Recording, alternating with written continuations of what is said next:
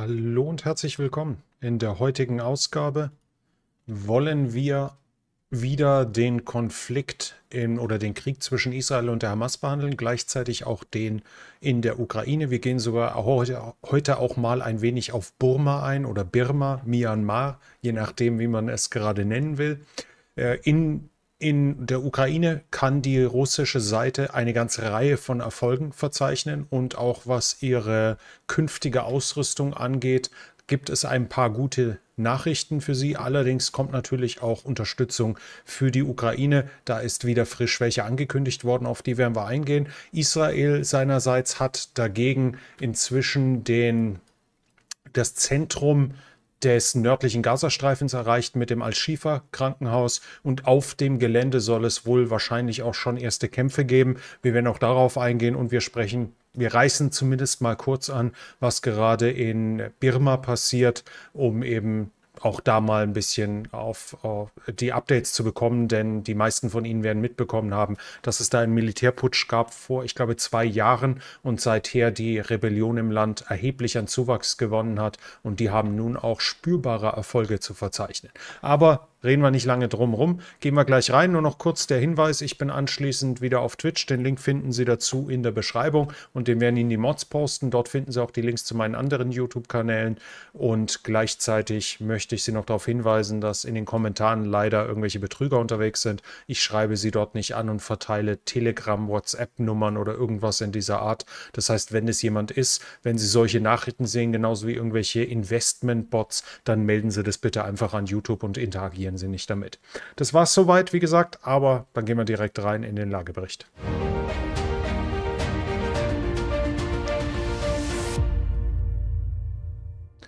Was das Wetter angeht, gibt's inzwischen, hat die Rosputize natürlich voll eingesetzt. Regen und Schlamm sorgen zunehmend für Probleme, verhindern allerdings die Angriffe nicht völlig. Also es ist zum Beispiel bei Avdivka ist es inzwischen ein ernstes Problem für beide Seiten zur Versorgung. Irgendwelche Schlammpisten sind kaum noch zu befahren und wenn dann nur mit Kettenfahrzeugen und nicht gerade schnell. Das erschwert für beide Seiten den Nachschub, ist aber nicht ein Ausschlusskriterium Kriterium für weitere Angriffe, wie wir natürlich heute auch sehen werden. Ein weiteres Problem ist der starke Nebel. An vielen Orten gibt es aktuell Nebel und auch das hindert natürlich die Operationen, sei es von Drohnen, sei es von Luftstreitkräften zur Aufklärung etc. ist dies ein Problem. Und ein grundsätzliches Problem, was beide Seiten gerade immer mehr betrifft, ist auch die Entlaubung. Denn natürlich mit dem einsetzenden Winter haben die Laubbäume ihre Blätter verloren oder sind gerade dabei, ihre Blätter abzuwerfen. Und das wird ein Tarnen von Personal und Material in den kommenden Monaten extrem schwer machen und sollte daher auch die Verlustraten auf beiden Seiten steigen lassen, zumindest was Angriffe mit Artillerie und Drohnen angeht, weil die einfach ihr Ziel nun viel leichter sehen können. In, in der östlichen Front nördlich des Siversky Donetsk, die ist hauptsächlich in Luhansk und hier oben etwas in Kharkiv, haben wir viele Angriffe von beiden Seiten. Aber bevor wir einfach nur die Namen runterrattern, also wir haben drei Schwerpunkte. Mehrheitlich ist hier unten bei Kremina vor allem wieder Serebriansk-Gewalt, hier im Scheribets-Brückenkopf und nördlich bei Kupiansk gibt es auch schwere Angriffe. Aber ich kann nur eine Veränderung verzeichnen und die ist wieder hier. Und ich glaube, das habe ich in der Vergangenheit immer Petro irgendwas ausgesprochen. In Wirklichkeit heißt, die Ortschaft, heißt die Ortschaft Perschotravene. Tja, tut mir leid. Und dort sind die Russen hier gesehen worden. Das heißt, sie sind hier höchstwahrscheinlich so 300, 400 Meter vorgestoßen. Da haben wir hier eine Geolokalisierung, wo sie angegriffen werden. Und wie gesagt, hier sehen Sie Perschot-Ravene hier unten. Wir haben also einen kleinen Erfolg der Russen an dieser Front und das war es aber schon an der gesamten Front. Also springen wir gleich zum Süden weiter. Südlich des Seversky Donetsk haben die Russen ebenfalls die Initiative übernommen, würde ich mal sagen. Also ich glaube nicht, dass man es für den Moment zumindest ernsthaft bezweifeln kann.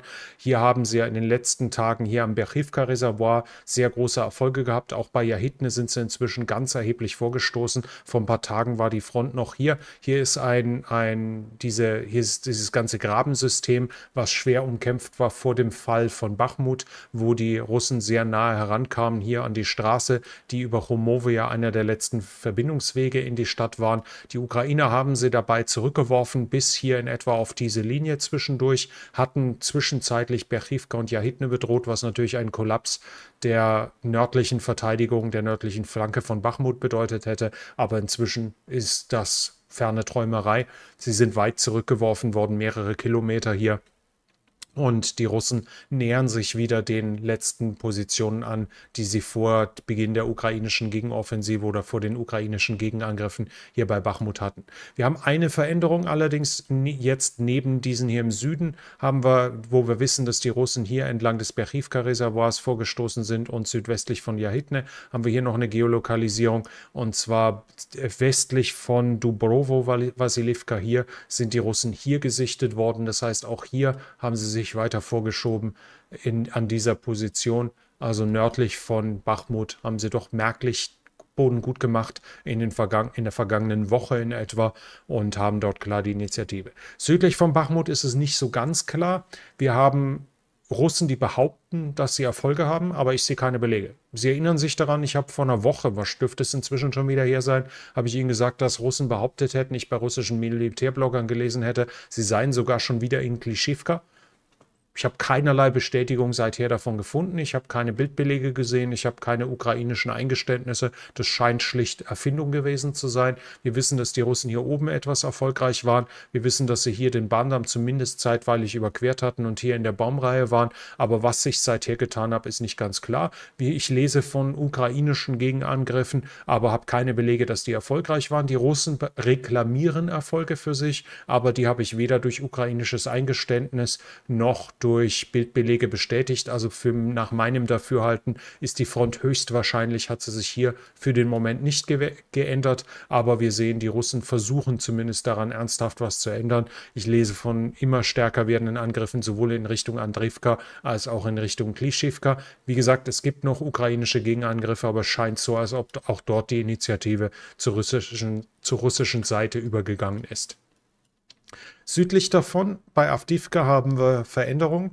Die Russen waren ja schon so ungefähr vor einer Woche im Ostteil von Stepove. Jetzt behaupten sie ganz frisch, dass sie Stepove unter, dass sie die Ukraine aus Stepove vertrieben hätten, dass dies nun umkämpftes Gebiet sei, weil sie wegen der ukrainischen Artillerie noch nicht in der Lage seien, nachzustoßen.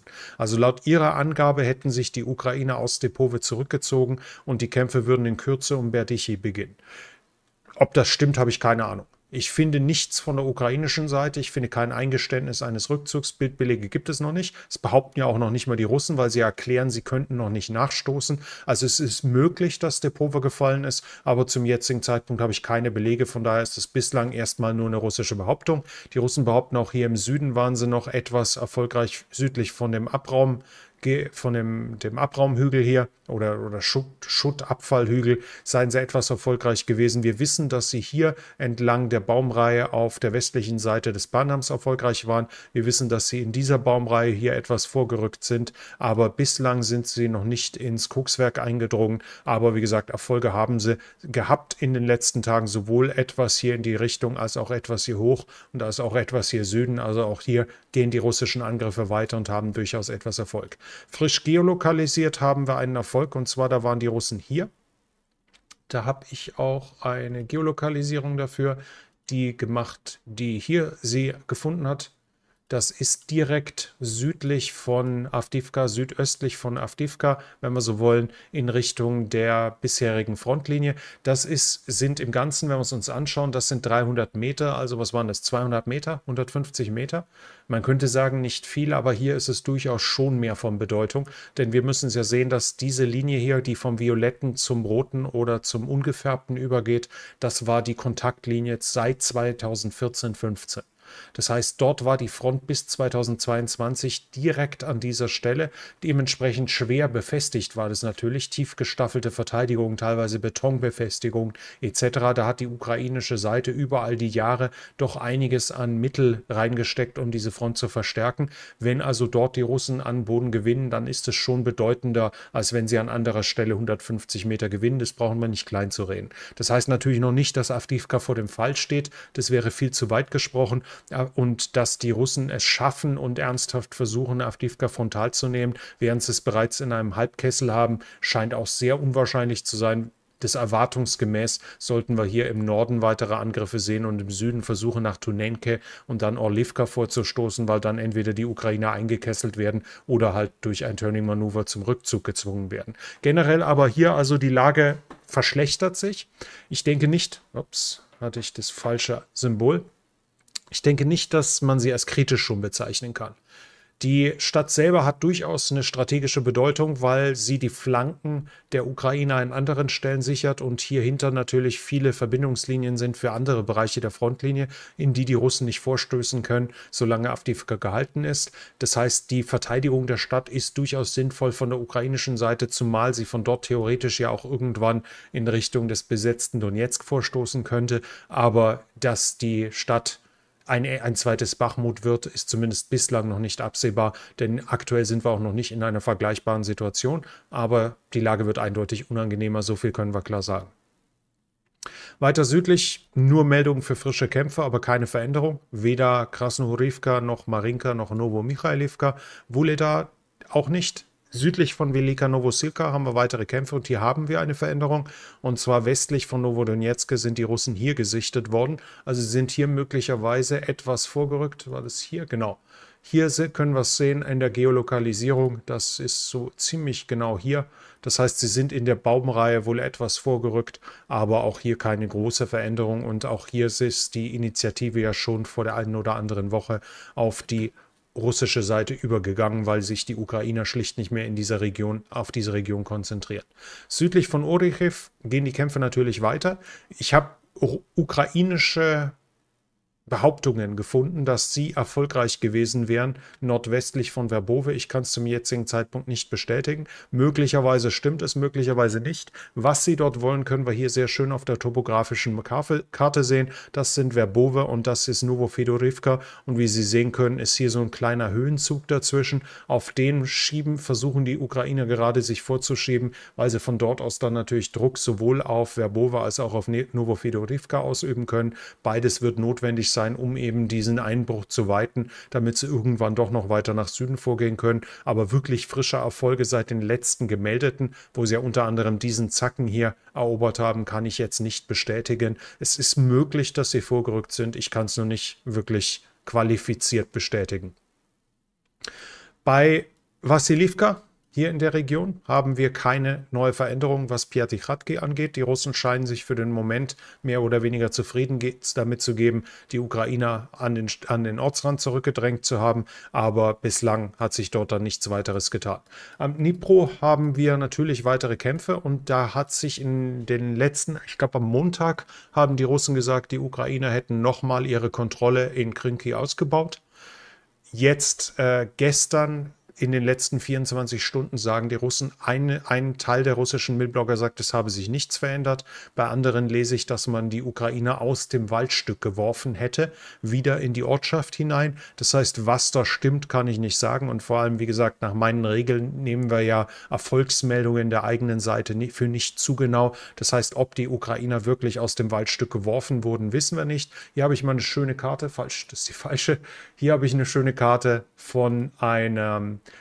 pro-ukrainischen Seite. Und dort sehen wir mal, was die Pro-Ukrainer für sich beanspruchen. Wie gesagt, das pro-ukrainische Karte, ich würde jetzt nicht meine Hand ins Feuer legen, dass die bis zum letzten Meter soweit stimmt, aber das ist das, was sie inzwischen beanspruchen. Und da sehen wir, demnach hätten sie hier in, diesem, in dieser Baumreihe Positionen und das alles wäre Gebiet, aus dem sich die Russen zurückgezogen hätten, die aber nun hier ihre Positionen hätten, wenn wir diese Karte so mehr oder weniger für voll nehmen wollen, auch wenn teilweise dieses Gebiet hier ebenfalls also umkämpft angezeigt wurde wurde. Grundsätzlich also, die Ukrainer haben wahrscheinlich seit dem letzten Lagebericht ihre Position etwas ausgebaut, aber realistischerweise reden wir wahrscheinlich von drei bis vier Häusern wenn es hochkommt. Also sie wurden ziemlich sicher in der Ortschaft nicht zurückgedrängt, sondern haben wahrscheinlich ihre Positionen ausgebaut. Im Waldgebiet kann ich nicht viel sagen. Es scheint wahrscheinlich, dass sie noch am Rand sind, aber zumindest haben wir Behauptungen der Russen, dass sie sie aus diesem Gebiet hier geworfen hätten. Das werden wir in den nächsten Tagen betrachten müssen. Ansonsten haben wir noch die üblichen Meldungen hier von Pischanivka. Ähm, Poima und, jetzt die falsche Karte, bin zur falschen Karte übergegangen, Pischanivka, Poima und, äh, und Pizstepne, dass die Kämpfe am Rand in Richtung und so weiter gehen. Was ich bestätigen kann zum jetzigen Zeitpunkt ist, dass nach meinen Informationen die Ukrainer keine der drei Ortschaften betreten haben zum jetzigen Zeitpunkt. Irgendwo vor ihnen finden die Kämpfe statt. Also die Ukrainer versuchen dort weiter vorzustoßen, aber ich kann keine wirklichen Erfolge frisch bestätigen. Ansonsten war es das schon hier. Dann kommen wir zum Schwarzen Meer. Dort haben wir nämlich ein paar gute Nachrichten für die Ukraine. Der US-Botschafter in der Ukraine sagt, das 100. Schiff habe über den Schwarzmeerkorridor die Ukraine verlassen. Und wir reden hier von dem von der Ukraine eigenständig eingerichteten Schwarzmeerkorridor. Denn wie Sie alle wissen, hat Russland ja dieses Abkommen zum Export von ukrainischem Getreide gekündigt und dann auch angekündigt, so in so ein bisschen gedroht im, in, in Richtung, wir könnten ja die Schiffe, die dort irgendwas machen, versenken. Und sie haben auch ein Schiff unter anderem gebordet, allerdings dann wieder freigelassen, das hier irgendwo in internationalen Gewässern unterwegs war. Und so wie ich das jetzt sehe, fahren die allermeisten Schiffe hier schlicht innerhalb der 12-Meilen-Zone der Anrainerstaaten bis, bis zur Ende der Seegrenze Rumäniens und fahren dann in dem, in den Küstengewässern der Ukraine weiter bis unter anderem nach Odessa. Und diese Fahrten finden nicht nur weiterhin statt, was natürlich ermöglicht wurde durch die ukrainischen Aktionen hier in diesem Bereich, unter anderem das Besetzen der Gasplattformen etc. Die fahren nicht nur, finden nicht nur statt, sie sind auch erfolgreich. Die Ukraine soll jetzt 3,7 Millionen Tonnen Getreide exportiert haben seit dem 15. August.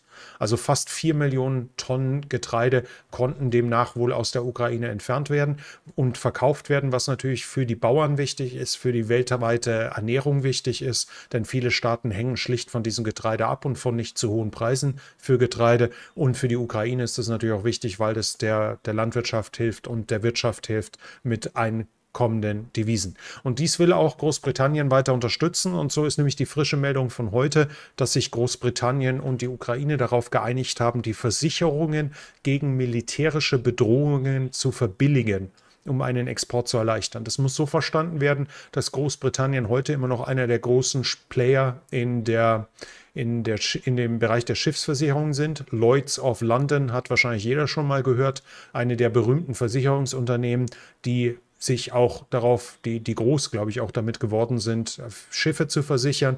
Und wenn ich das so richtig verstehe und richtig interpretiere, wird die britische Regierung den Firmen sagen, senkt mal die Raten. Ich vermute mal, dass das mit einer staatlichen Garantie einhergeht für den Fall von Schäden. Aber auf jeden Fall wird es so sein, dass der Endkunde dieser Versicherung, also der Bootseigner, nicht furchtbar hohe Versicherungen bezahlen muss, während sein Schiff aber gleichzeitig versichert ist. Und das wiederum macht natürlich die Fahrten billiger, macht damit den Export billiger und ermöglicht so überhaupt den, auch den Verkehr. Denn eine der Ideen ist ja, die man wirtschaftlich gegen Russland hat, dass man mit über Versicherungen und Versicherungssummen dafür sorgt, dass Russland seine Rohstoffe nicht mehr exportieren kann, beziehungsweise sein Öl nicht mehr exportieren kann. Wobei da inzwischen ja bekannt ist, dass das Ganze nicht allzu groß, allzu groß ähm, äh, erfolgreich war. Dann haben wir ähm, dann haben wir noch ne Meldungen zur Truppengeneration und da haben wir nicht so ganz so gute Nachrichten. Und zwar haben wir hier eine Ausna Aufnahme, die soll aus dem Iran sein. Und zwar soll dies eine Shahid 136 zeigen, die in ein Ziel stürzt. Und wie Sie hier sehen können, ist die nun mit optischen Sensoren ausgestattet. Das sieht mir nach einem Wärmebildgerät aus. Und wenn wir den Kasten drum sehen, hat da wohl eine Zielerfassung stattgefunden. In welchem Maße ist natürlich jetzt reine Spekulation. Wie viel dort äh, KI mitwirkt, wie weit Machine Learning und so weiter dort stattfindet, ist unklar. Aber klar war, bislang hat die Shahid eine Trägheitsnavigation gehabt sowie GPS. Das heißt, man hat ihr gesagt, stürz dich auf diese und jene Koordinate. Das war genau genug, wenn es nicht gestört wird, um ein Haus zu treffen. Völlig klar und war gefährlich genug. Aber das hier würde es theoretisch zumindest den Drohnen dann künftig ermöglichen, auch warme Ziele zu bekämpfen. Und das können Truppenkonzentrationen sein, das können Eisenbahnen sein, das kann sonst was sein. Auch wenn ich hier ähm, Leser auf meiner Twitter-Seite habe, die sagen, dass es technisch mit Eisenbahnen so eine, eine gewisse Schwierigkeit ist. Aber letztendlich ist es natürlich auch eine Frage der, der äh, Einstellungen.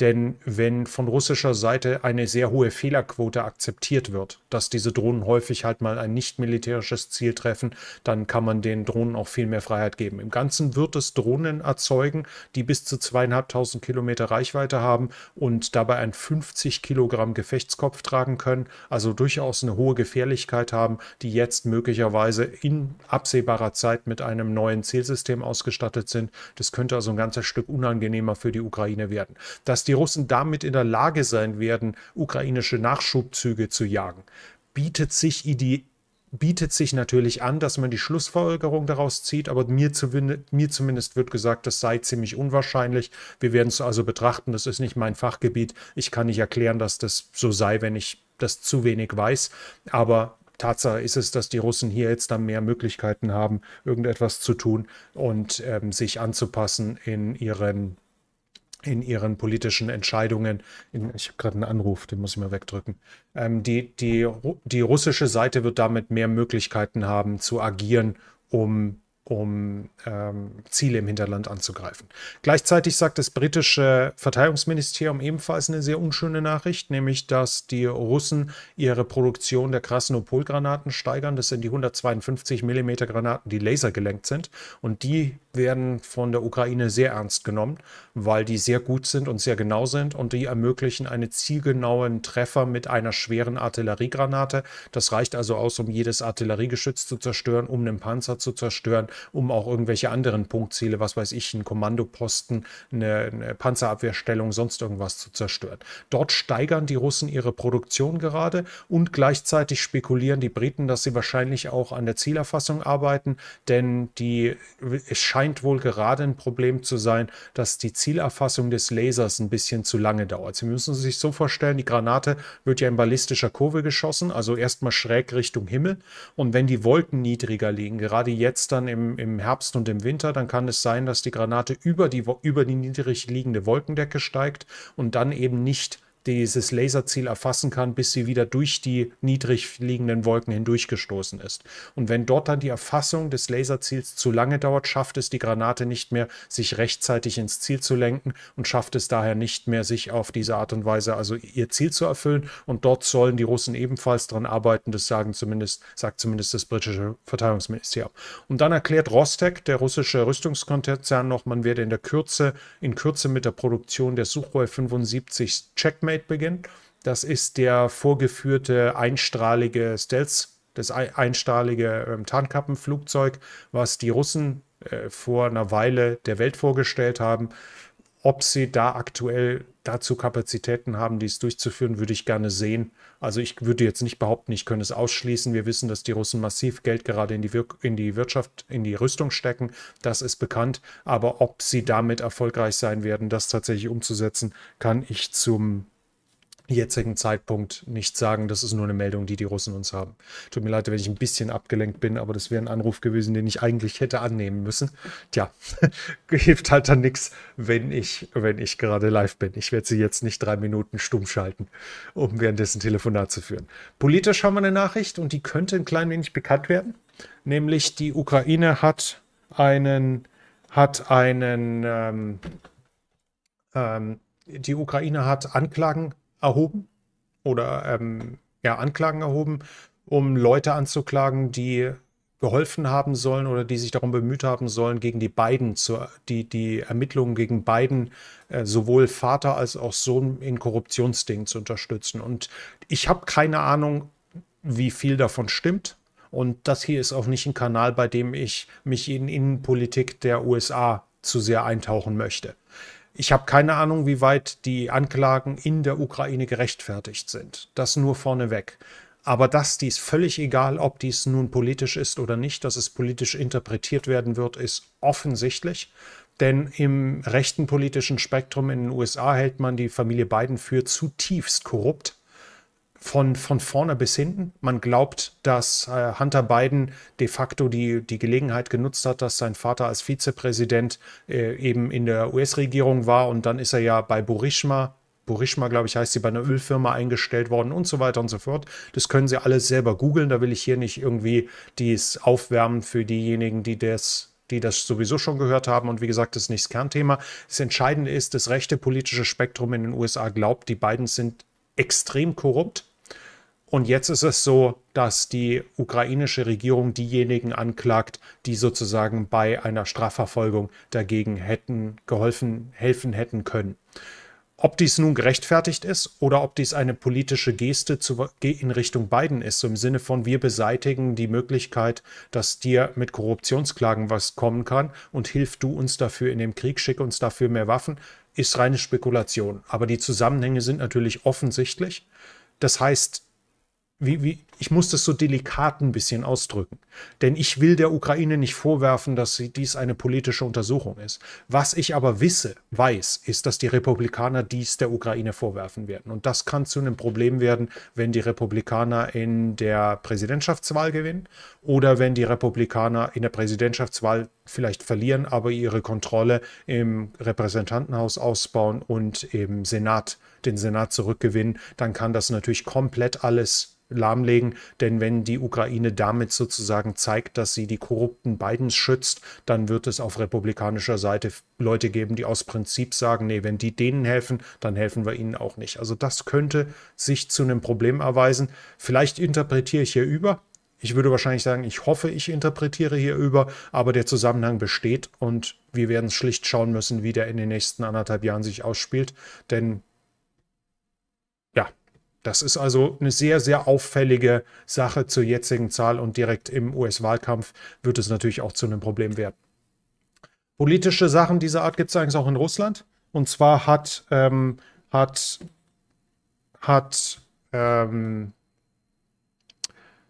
hat Putin Gesetzesänderungen zum Wahlgesetz unterzeichnet. In Gebieten mit Kriegsrecht dürfen nur akkreditierte Journalisten in Wahllokale und zur Auszählung gehen. Dazu muss eine Erlaubnis des lokalen Kommandanten bestehen, dass man dort überhaupt hingehen darf. Das heißt, nur wer von den Russen abgesegnet wurde, darf dies und lokal kann ein Militärkommandeur sagen, ihr dürft dorthin oder ihr dürft dort nicht. Vorgeblich natürlich aus Sicherheitssachen, aber das ermöglicht, dass dort natürlich eine Wahlfälschung im großen Maße möglich ist. Und gleichzeitig wurde auch die Gesetzgebung geändert bezüglich des Wahlkampfes. Wer als ausländischer Agent klassifiziert ist, muss dies künftig, wenn er auf Wahlkampfveranstaltungen eine Rede hält, vorher bekannt geben. Im Sinne von, mein Name ist so und so, die Regierung klassifiziert mich als ausländischer Agent und dann darf er anfangen. Dass dies natürlich der Diskreditierung dieser Leute dienen soll, ist völlig klar. Und wie Sie alle wissen, ähm, ist es auch diese Regierung, die, habe ich gesagt, Diskreditierung der Regierung? Also ich meine, ich meine natürlich die Diskreditierung der Oppositionellen, dass es dieser dienen soll. Und gleichzeitig ist es die Regierung, die ja für die Einstufung als ausländischer Agent sorgt. Das heißt, das ist eine problematische Sache, die, die hier besteht und auf der, mit der Russland und Putin natürlich seine Macht sichern will. Unterstützung haben wir ein paar Nachrichten und zwar Deutschland, die Regierung schickt 10 weitere Leopard und 14 BV206. BV206 sind die Bandwagen 206. Das ist so ein ähm, das hatte ich ihm beim letzten Mal gezeigt, eine andere Version davon. Das sind so kleine Kästen, die auf Ketten sind, schwimmfähig sind, super geländegängig sind, von Hägglunds aus Schweden. Die kennt jeder bei der, die Bundeswehr hat die unter anderem und die 10 Leopard. Ich würde mal vermuten, dass wir von Leopard 1 A5 reden, denn, aber ich habe auf die Schnelle nichts genaueres gefunden. Also rein theoretisch könnten es Leopard 2 A4 aus der Industrie sein, denn da sollten ja irgendwann die, die, da sollte ja irgendwie was herumlaufen, aber ich gehe mal bis auf weiteres davon aus, dass wir von Leopard 1 A5 reden, denn die sind ja die einzigen, die in nennenswerter Art und Weise vorhanden sind. Und Fassi hat mir schnell den Link rausgeholt, dann kann ich es Ihnen nochmal schnell zeigen, wie der, wie der BV206 aussieht. Dankeschön.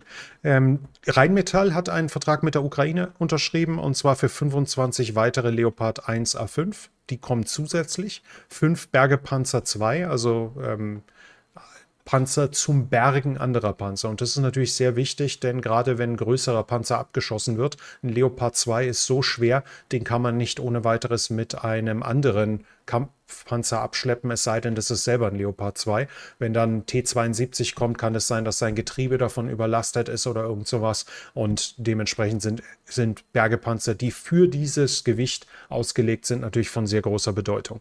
Gleichzeitig kommen noch zwei Fahrschulpanzer. Das sind diese absurd aussehenden Panzer, die eben oben so eine, so, so eine Art Turm haben, der allerdings rundum verglast ist und eine, eine Rohrattrappe, um eben damit fahren zu üben. Und Ukraine erhält zusätzlich fünf Karakal von Rheinmetall, allerdings lustigerweise erst oder absurderweise erst 23 bis 24, also überhaupt erst in den nächsten anderthalb Jahren für fünf Fahrzeuge. Und der Karakal ist basierend auf dem Wolf, das ist die G-Klasse, ein, ein leichter ein sehr leichtes luftlandefähiges Fahrzeug. Hier ist der Fahrschulpanzer, ein sehr luftlandefähiges Fahrzeug, was die sehr leicht ist und in Deutschland für Spezialkräfte im Einsatz ist. Davon wird Rheinmetall der Ukraine ebenfalls fünf liefern.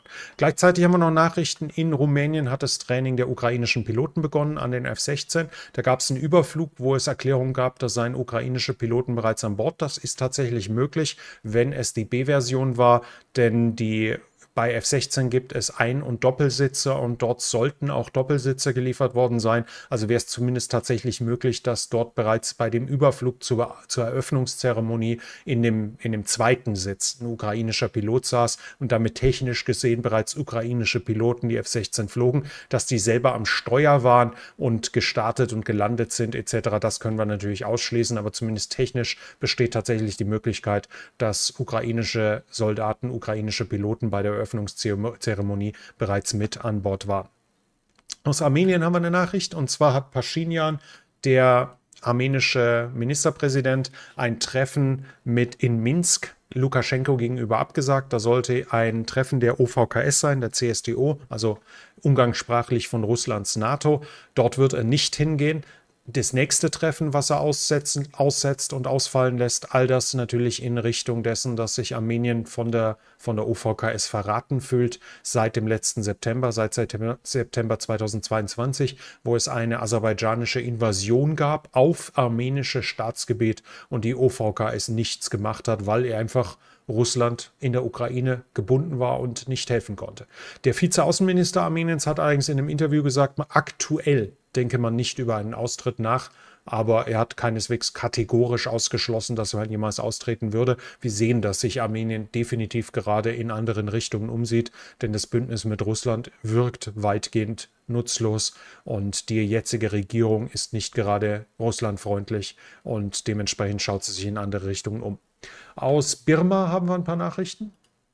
Myanmar und zwar haben hier ja, hat ja hier der Putsch stattgefunden und da hat eine Rebellion begonnen. Es gab vorher schon Rebellen in verschiedenen Teilen des Landes, aber mit denen waren weitgehend Waffenstillstände geschlossen. Die Gefechte wurden wieder aufgenommen und nun kommen noch die hinzu, die eben unzufrieden damit sind, dass die Militärdiktatur wieder übernommen hat und die Demokratie abgeschafft hat. Die haben damals ihre Rebellion begonnen mit Jagdwaffen und sogar 3D gedruckten Waffen. Die äh, FGC-9, die übrigens von einem Deutschkurden entwickelt wurde in Deutschland. Dies ist eine voll 3D gedruckte Waffe, die hier in, der, in, Bur in Birma zum Einsatz kam im Kampf gegen die Regierung. Mit diesen Waffen waren sie dann in der Lage, sich besser zu bewaffnen und haben sich dann mit die verschiedenen Rebellengruppen untereinander auch verbündet und die führen jetzt seit mehreren Wochen eine Großoffensive durch und haben dabei erhebliches Territorium erbeutet, äh, erobert, unter anderem mehrere Grenzübergänge an der Birme, birmesisch-chinesischen Grenze. Hier, glaube ich, müsste der sein, der wichtigste Grenzübergang. Und was hier? Ich glaube, hier der wichtigste Grenzübergang zwischen beiden Ländern ist nun in den Händen von Rebellen. Das ist natürlich ein großes Problem für die Regierung, die ja eng sich an China, mit China verbündet und der Handel und so weiter, militärische Unterstützung sich aus China bezieht. Und nun haben die Rebellen auch hier die, die ersten Grenzübergänge zu Indien erobert. Die Putschregierung hat also zunehmend Probleme, aber das ist soweit noch nicht alles, denn wir haben nun erstmals Meldungen, dass Einheiten beginnen zu kapitulieren.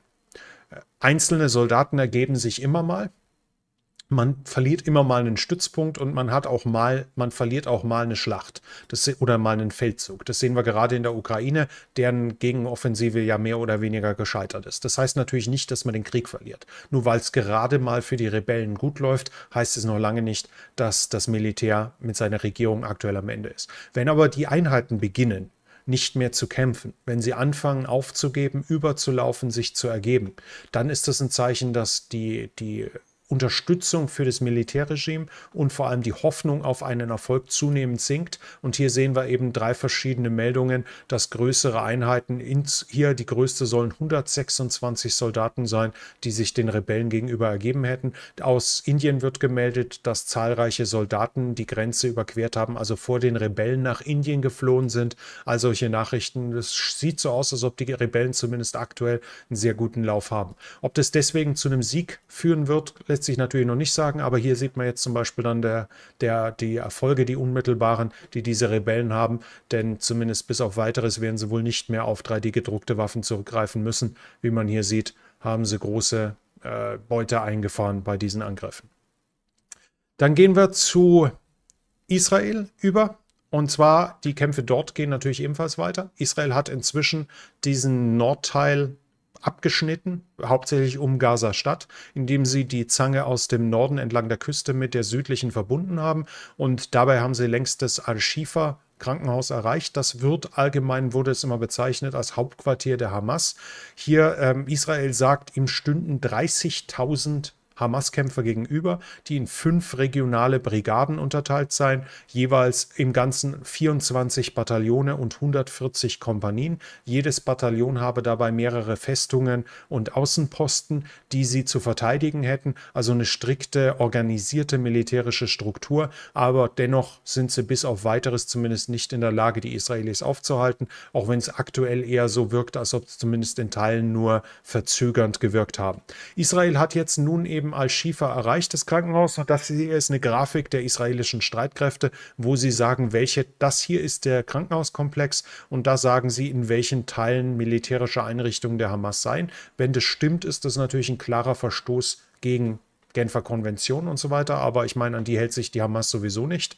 Von daher wird, sich, wird es jetzt spannend werden, denn Israel scheint gewillt zu sein, in das Gelände einzudringen und damit sicherzustellen. Und dann sollten wir in ein bis zwei Wochen wahrscheinlich endlich Bilder sehen von den militärischen Einrichtungen, denn Israel wirft dies, das wird, wird der Hamas seit über einem Jahrzehnt, glaube ich, vorgeworfen, seit vielen Jahren, eigentlich schon seit der Machtübernahme, dass die Hamas Al-Shifa nutzen würde für militärische Zwecke, dass sich dort regelmäßig in den Kriegen mit Israel die Führung verstecken würde, also mit den menschlichen Schutzschildern der Ärzte und der Patienten über sich. Und wenn die Israelis jetzt eindringen, dann sollten wir ja wahrscheinlich sehr bald, sehr bald Beweise dafür sehen. Israel, als es sich dem genähert hatte, haben Soldaten von ihnen in Kanistern 300 Liter Treibstoff, wie sie sagen, auf 300 Meter Nähe herangebracht. Denn es hieß, dass das Krankenhaus seit drei Tagen zu dem Zeitpunkt kein, keine Stromversorgung mehr gehabt habe. Ähm, das ist natürlich ein Problem für ein Krankenhaus, was, was weiß ich, Beatmungsanlagen braucht und so weiter. Und vor allem soll in der Schiefer sollen auch die kritischen Fälle, was Neugeborene angeht, gewesen sein. Also die brauchen dringend Krankenhaus. Aber da hat sich die Absurdität in diesem Krieg gezeigt, denn wir haben hier die, die äh, Nachricht, dass der Chef des Al-Shifa-Krankenhaus gesagt hat, dass man 300 Liter hätte übergeben wollen. Ich vermute mal, Solar ist einfach eine falsche Übersetzung oder irgendwas. Es ging um 300 Liter Treibstoff, vermutlich Diesel. Und ähm, man hätte er hat gesagt, wir hätten es akzeptiert, wenn es durch das internationale Rote Kreuz geht. Von den Israelis nehmen wir nichts an. Das heißt, laut Angaben der Palästinenserführung, laut Angaben der Hamas, laut Angaben des Krankenhauses sterben in dem Krankenhaus Menschen. Israel bietet Treibstoff an und die sagen, nee, wir wollen es von euch nicht. Das irritiert doch schon ein wenig. Dass Sie sagen, das reicht nur für 15 bis 30 Minuten, ist vermutlich nicht gänzlich unrealistisch, wenn man sich die Größe des Komplexes ansieht. Aber ich meine, wenn man die ersten 300 Liter ablehnt, dann wird man anschließend auch nicht mehr erhalten. Auch das sollte sich selbst erklären. Das sind auf jeden Fall die Situationen hier. Und Israel hat auch ein Telefonat veröffentlicht, wo ein israelischer Soldat mit dem Chef äh, spricht und der sagt, die Hamas, das Gesundheitsministerium habe gesagt, sie dürfen den Treibstoff nicht annehmen. Also die, die israelischen Streitkräfte sagen, sagen, die Hamas habe verhindert, dass das Krankenhaus Treibstoff erhält. Israel hat inzwischen dennoch Hilfsgüter geliefert, sagen sie. Und zwar seien, seien Brutkästen geliefert worden für die Neugeborenen, die zu früh geboren sind. Sie hätten Kindernahrung, Babynahrung geliefert und andere medizinische Ausrüstung. Und die seien inzwischen übergeben worden, sagen die Israelis hier. Und die letzten Meldungen sind, waren, dass Israel auch erklärt hat, es habe eine Operation in einem Teil des Krankenhauskomplexes durchgeführt, begonnen durchzuführen, um dort Hamas-Terroristen zu bekämpfen. Das ist natürlich in mehreren Hinsichten interessant, denn eine Operation in dem Komplex bedeutet, sie sind eingedrungen ins Krankenhaus, also zumindest hier auf diese Anlage, und dass sie dort Hamas-Terroristen bekämpfen. Dazu müssen die vor Ort sein. Und selbstverständlich hat ein bewaffneter Kombatant nichts in einem Krankenhaus zu tun. Äh, die Israelis haben auch ein Video veröffentlicht, das habe ich auf meiner, auf meiner Twitter-Seite auch, auch ähm, gepostet, wo man einen Hamas-Terroristen sieht, der mit einer Panzerfaust vor einem Krankenhaus ist und von dort schießt. Und die, die Rechtslage hier, ich bin kein Experte für internationales Kriegsrecht, aber in dem Fall ist die Rechtslage klar. Der die, beide Seiten haben das Krankenhaus nicht militärisch zu nutzen. Und wenn eine Seite ein Krankenhaus nutzt, ist die andere Seite nicht verpflichtet, sich dann beschießen zu lassen und sich töten zu lassen, weil der andere ja ein Krankenhaus missbraucht. In dem Fall kann selbstverständlich zurückgeschossen werden und in diesem Fall sind alle Schäden an dem Krankenhaus natürlich demjenigen zuzuschreiben, der erstmal aus dem Krankenhaus geschossen hat, nicht dem, der zurückgeschossen hat. Das heißt, wenn die Hamas tatsächlich bewaffnete Kräfte in Al-Shifa hat und dort jetzt israelische Streitkräfte mit denen kämpfen und dabei Zivilisten zu Schaden kommen, dann ist zumindest in normalen Verhältnissen die Schuld klar bei der Hamas. Das gibt natürlich Israel kein Recht, des, den ganzen Komplex einzuebnen. Wenn sie hier kämpfen, dürfen sie nicht diese Gebäude zerstören. Das, das erklärt sich eigentlich von selber. Aber klar muss gesagt werden, wenn darin Kämpfe stattfinden, und das sind keine israelischen Soldaten, die die Zivilisten massakrieren, sondern das sind Kämpfe, wo beide Seiten bewaffnet sind und aufeinander schießen, dann ist derjenige, der, die, der in dem Krankenhaus ist, eindeutig dem die Schuld zuzuweisen. Das müssen wir hier einfach ganz klar sagen. Israel hat außerdem auch gesagt, dass sie im Al-Rantisi Spezialkrankenhaus für Kinder Belege gefunden haben, dass dieses für Geiseln genutzt wurde. Und zwar ist es der Sprecher der israelischen Streitkräfte, glaube ich. Oder, also ist ein Vizeadmiral, wenn mich nicht alles täuscht, der hier also Tunnel und so weiter zeigt in dem Video. Und dann geht er ins Krankenhaus und wir sehen hier im Hintergrund, das seien so Kindereinrichtungen. Und dann sagt er, seien hier eben Granaten und Waffen und eine Sprengstoffweste gefunden worden. Und jetzt kann natürlich jeder erklären, das hätten die da hingelegt oder irgendwas. Aber was interessanter wird, ist, dass er hier zum Beispiel ein Motorrad zeigt, das natürlich will es jetzt wieder nicht, dass hier ein Motorrad zeigt, wo man hier sieht, dass das ein Einschussloch haben soll in dem Tank. Laut der Erklärung in, in dem Krankenhaus natürlich, hat natürlich im Keller kein Motorrad was zu suchen. Und laut Erklärung der Israelis seien die Geiselnehmer also in das Krankenhaus zurückgekehrt und hätten sich dort versteckt. Und dazu haben sie auch hier dann, äh, sieht man einen Stuhl, der laut ihrer Interpretation genutzt wurde, um dort eine Geisel festzubinden. Hier legen unter anderem noch Kabel, die zur, zum Festbinden genutzt worden sein. Auf dem, auf irgendeinem so Kontrollkasten eine Babyflasche, die hat natürlich im Keller an sich auch nichts zu suchen. Also auch hier wird, wird es als Hinweis genommen. Was aber auf jeden Fall noch interessanter ist, dass improvisierte Toiletten eingerichtet wurden auch das keine Sache, die man in einem Krankenhaus erwartet, was normale, normale Toiletten hat. Und die letzten Dinge hier wären dann wirklich interessant. Also äh, weisen hin auf all die improvisierten Bauten, die man sieht in einem Krankenhaus, was alles hat. Und hier sieht man ein normales Zimmer, wo die Israelis sagen, das sei für Geiseln genutzt worden. Und hier hängen, Vorhänge vor der Mauerwand, um eben den Eindruck zu erwecken, man sei in irgendeinem Wohnhaus. Also hier wird von israelischer Seite gesagt, dass die Geiseln hier aufgehoben, aufbewahrt wurden. Äh, natürlich, wie gesagt, es gibt längst Erklärungen, da seien Schnitte drin und es sei gestellt gewesen und so weiter. Ich ich habe keine Möglichkeit, es extern nachzuprüfen. Was wir allerdings haben, ist, dass das Gesundheitsministerium wohl inzwischen bestätigt hat, so wie ich das gelesen habe, dass dies tatsächlich das Krankenhaus ist. Also wir wissen zumindest, dass die, diese Aufnahmen in dem Krankenhaus gemacht wurden. Das zumindest haben wir in der Hinsicht bestätigt. Interessanter ist hier ein Interview, was ein Al Jazeera-Journalist gemacht hat, der im Al-Shifa ist und der spricht mit einem, wie Sie sehen, sehr ja, verbrauchten Patienten oder, oder jemanden. Also das ist jemand, der die letzten Tage nicht gerade in Rosenduft gebadet hat. Und das ist jetzt nicht despektierlich gemeint, sondern halt wirklich jemand, der die letzten Tage gelitten hat, wahrscheinlich mit Staub, Schutt und so weiter in Berührung kam. Und den interviewen sie in dem Krankenhaus. Und ich übersetze Ihnen das mal mit. Die israelische Armee sagt den Leuten, sie sollen südlich des Wadi Gaza gehen. Ja, ja. Ähm, waren Sie überrascht von diesem Bombardement? Ja, es war nicht ein Haus, was bombardiert wurde.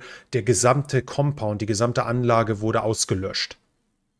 über 15 oder 20 Häuser. Ist das ein humaner Akt? Also er beschwert sich darüber über die großflächigen Zerstörungen durch die Israelis. Nein, das ist ein krimineller Akt. Und was die, die, den Widerstand angeht, also die, die Hamas, sie kommen und verstecken sich unter den Menschen. Warum verstecken sie sich unter den Menschen? Sie können zur Hölle gehen und sich dort verstecken. Und wie Sie sehen, der Journalist beendet das Interview. Und man sieht ihn im Hintergrund ganz verzweifelt. Hey, ich war noch nicht fertig. Man sieht die Hand, die, die, die Gesten, die er zeigt. Was war das jetzt? Was zum Teufel? Was zum Teufel soll das? Al Jazeera ist lustigerweise Peter Zayan zum Beispiel sagt, Al Jazeera macht den besten Journalismus, außer wenn es um die Region geht. Dann sind sie komplett unbrauchbar und eine reine Propagandaschleuder. Al Jazeera wird von Katar betrieben, dem islamistischen Emirat, das die Hamas unterstützt, bei der Hania, der Hamas-Chef, in einer Villa wohnt, ganz unbelästigt, das finanziell die Hamas unterstützt, wo aus Katar gab es die Vorwürfe, dass Katar finanziell sogar den islamischen Staat zumindest durch Privatleute unterstützt haben soll. Also die Unterstützung von radikal-islamischen Organisationen aus Katar sind bekannt und das ist ihr Fernsehsender und als der nur über Israel schimpft, wird er ihm, darf er reden, aber in dem Moment, wo er zeigt, dass er nicht, auch nicht gerade glücklich über die Handlung der Hamas ist, wird das Interview sofort abgebrochen. Das fand ich doch sehr bemerkenswert in diesem Zusammenhang. Die USA selber sagen auch, sie sind auch davon überzeugt, dass unter Al-Shifa eben ein äh, Kommandoposten ist. Wie gesagt, wir werden gespannt sein, weil wir das vermutlich, ich gehe mal davon aus, dass wenn die Israelis vor Ort sind, dann werden sie auch in das Krankenhaus gehen. Und dann sollten wir in den nächsten zwei, drei Wochen wahrscheinlich reichlich Bilder sehen, die uns zeigen sollten, was dort an Einrichtungen sind. Denn wir haben das all die Jahre gehört und jetzt bin ich natürlich auch gespannt darauf, die zu sehen, denn zumindest in Israel hat man immer, war man immer sehr davon überzeugt, dass dort auch welche, auch unterirdische Anlagen seien. Gleichzeitig haben wir die Nachricht von einem den Gazastreifen beobachtenden Kanal und demnach seien die äh, höheren Qassam-Commander bereits geflohen aus Al-Shifa. Qassam ist der militärische Arm der Hamas, also auf gut Deutsch die, die, die Kämpfer der Hamas. Die höheren Kommandeure hätten bereits Fersengeld gegeben. Vor Ort seien nur noch die niedrigeren Ränge, um dort zu kämpfen und unterzugehen. Die Führung hat sich bereits in Sicherheit gebracht. Dann haben wir den Chef der UNRWA. Das ist die UN-Organisation, die sich. Okay, jetzt hat es wieder entfernt worden. Interessant. Ähm, das ist natürlich spannend. Die, die Entführung die, die, ähm, das ist der Chef der UN-Agentur, die sich um die palästinensischen Flüchtlinge kümmert. Und er erklärt, dass es verlogen sei, dass sie Hass predigen und das ist eigentlich hinlänglich bewegt. Und das war zumindest der, der Kommentar bis gerade eben, bis er es entfernt hat ähm, bis es entfernt wurde, denn logischerweise um solche Community-Nachrichten finden dann Edit-Kriege statt, wo jede Seite versucht, möglichst viele zu mobilisieren, um für, dafür zu sorgen, dass etwas verschwindet. Leider sind jetzt die Links nicht da auf die Schnelle, aber in der in der äh, Masse, jetzt habe ich wieder viel zu spät umgestellt, naja, egal. In der Masse ist es so, dass die dass es bekannt ist, dass das Hass auf Juden, Glorifizierung von Martyrium und ähnlichen Dingen in den Schulen im Gazastreifen gelernt wird und selbstverständlich auch in den Schulen, die von der UNRWA betrieben werden. Interessant war, dass er hier also glatt gelogen hat und als Leute ihn dann darauf angesprochen haben, hat er die, die die Kommentarfunktion entsprechend abgestellt. Israel selbst unterhält nach wie vor praktisch jeden Tag Evakuierungskorridore, aus denen sich die Zivilisten in Sicherheit bringen können. Jetzt mit der Heftigkeit der Angriffe und den Bodenkämpfen kommt es natürlich auch bei immer mehr Menschen an, die vorher wahrscheinlich vorhatten, das Ganze auszuharren. So sagt Israel, dass inzwischen seit Beginn der Bodenkämpfe weitere 250.000 Zivilisten hier aus dem Norden entkommen seien durch diese sicheren Korridore nach Süden. Sie gehen inzwischen nur noch von 100 bis 200.000 Zivilisten im Norden durch. Das heißt, realistisch gesehen ist da immer noch jede Menge Zivilisten und können immer noch jede Menge Zivilisten sterben. Aber das bedeutet zumindest, dass ja, 800.000 Zivilisten oder sowas in Sicherheit gebracht werden konnten und wir jetzt wenigstens durch die Kämpfe nicht mehr persönlich sterben können, auch wenn natürlich das Ganze in zunehmendem Maße sehr zerstört aussieht. Und da haben wir hier gleich noch ein anderes Video dazu. Und da greife ich mal auf Riba zurück, auf die russischen Milblogger, das ganz interessant ist. Und zwar ist das ein Video, das zeigt, wie die Israelis das das ähm, Legislaturgebäude sprengen, das Legislativgebäude. Ähm, das heißt, wir können hier so de facto sagen, dass sowas wie die, die Regierungs, äh, das Parlament vielleicht, wir können sagen, das ist das Parlament von Gaza, das hier gesprengt wird. Und das Interessante ist, dass Riba sagt, das läge daran, ähm, dass die Israelis von dort vielleicht weiter vorrücken wollen und die hohen Gebäude in ihrem Hintergrund zerstört werden, damit sie von den palästinensischen Kämpfern nicht benutzt werden können und dass es dort sicher auch viele Tunnel gäbe, die auf diese Art und Weise natürlich verschlossen werden, indem man einfach ein Haus auf den Tunnelangang fallen lässt. Das mag alles stimmen, aber interessant war, fand ich, dass Riba das schreibt, obwohl die ja als russisches Medium, als russische Milblogger und dem russischen Propaganda zugerechnet generell eher pro Hamas berichtet haben und anti-Israel, aber aber auch hier haben sie, versuchen sie das Ganze rational zu begründen. Ich halte es durchaus für möglich, dass es auch einfach eine Sprengung in demonstrativen Zwecken war, denn bei aller Sympathie und Sie wissen, dass ich auch in diesem Konflikt nicht neutral bin, müssen wir ganz klar sagen, Israels Absicht ist hier dafür zu sorgen, den, den der Gegenseite mitzuteilen, legt euch nie wieder mit uns an. Ähm, die wollen, die wollen den ihren Feinden vermitteln, ihr könnt uns was tun, aber wir schlagen danach wie die Wahnsinnigen zurück, also lasst es besser nach, getreu nach dem, nach dem Motto von Julius Caesar, mögen Sie mich nur hassen, wenn Sie mich nur fürchten. Und dass man dort das, das Parlamentsgebäude sprengt, was ja das Symbol der Herrschaft vor Ort ist und das Symbol der Hamas, würde ich alleine den symbolischen Wert schon sehen und daher eine Sprengung erwarten, dass sie alleine deshalb stattfinden könnte. Ich fand es interessant, dass die pro-russischen Millblocker hier nach militärischen Gründen dafür suchen und nicht eine Demonstration sehen, denn dass diese Demonstrationen auch stattfinden, da brauchen wir uns nichts vorzumachen. Natürlich natürlich tut Israel das auch, denn Israel bemüht sich darum, sein Abschreckungspotenzial wieder zu erzeugen. Und ich habe in der Vergangenheit schon darüber gesprochen, der, die heftige Reaktion Israels auf die Angriffe in, in, vom Libanon haben dazu geführt, dass Hassan Nasrallah im Fernsehen gesagt hätte, hätten wir gewusst, dass die Israelis so reagieren, hätten wir das niemals gemacht. Zu 100 Prozent hätten wir Israel nicht angegriffen.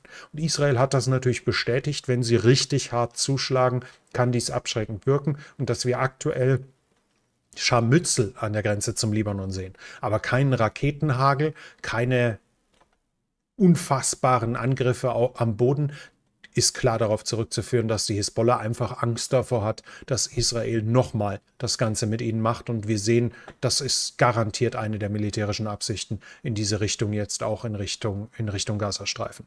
Von der Westbank haben wir noch ein paar Nachrichten. Also Westjordanland, äh, vereinzelte Sprengstoffanschläge, also mit, mit äh, IEDs mit improvisierten Sprengladungen entlang der Straße auf irgendwelche Militärfahrzeuge und so weiter, vereinzelte Feuergefechte, aber nichts Großes, also nichts, keine, keine erhebliche weitere Eskalation. Im Norden sind die Kämpfe weiter, also zur Hisbollah in Richtung Libanon, sind die Kämpfe weiter auf relativ niedrigem Niveau. Sie, es, sie wären allerdings stärker, aber sie sind immer noch auf einem das klingt immer so ein bisschen schwierig, das zu beurteilen, aber wir müssen uns klar machen, dass die Hisbollah weit davon entfernt ist, ihr Potenzial zu nutzen. Sie greift an, sie kämpft, ja, und sie tötet auch Soldaten. So ist alleine am 12. November haben die Israelis gemeldet, dass sie 17 Verluste hatten, also Gefallene wie Verwundete, aber 17 ihrer Soldaten wurden am 12. November ausgeschaltet.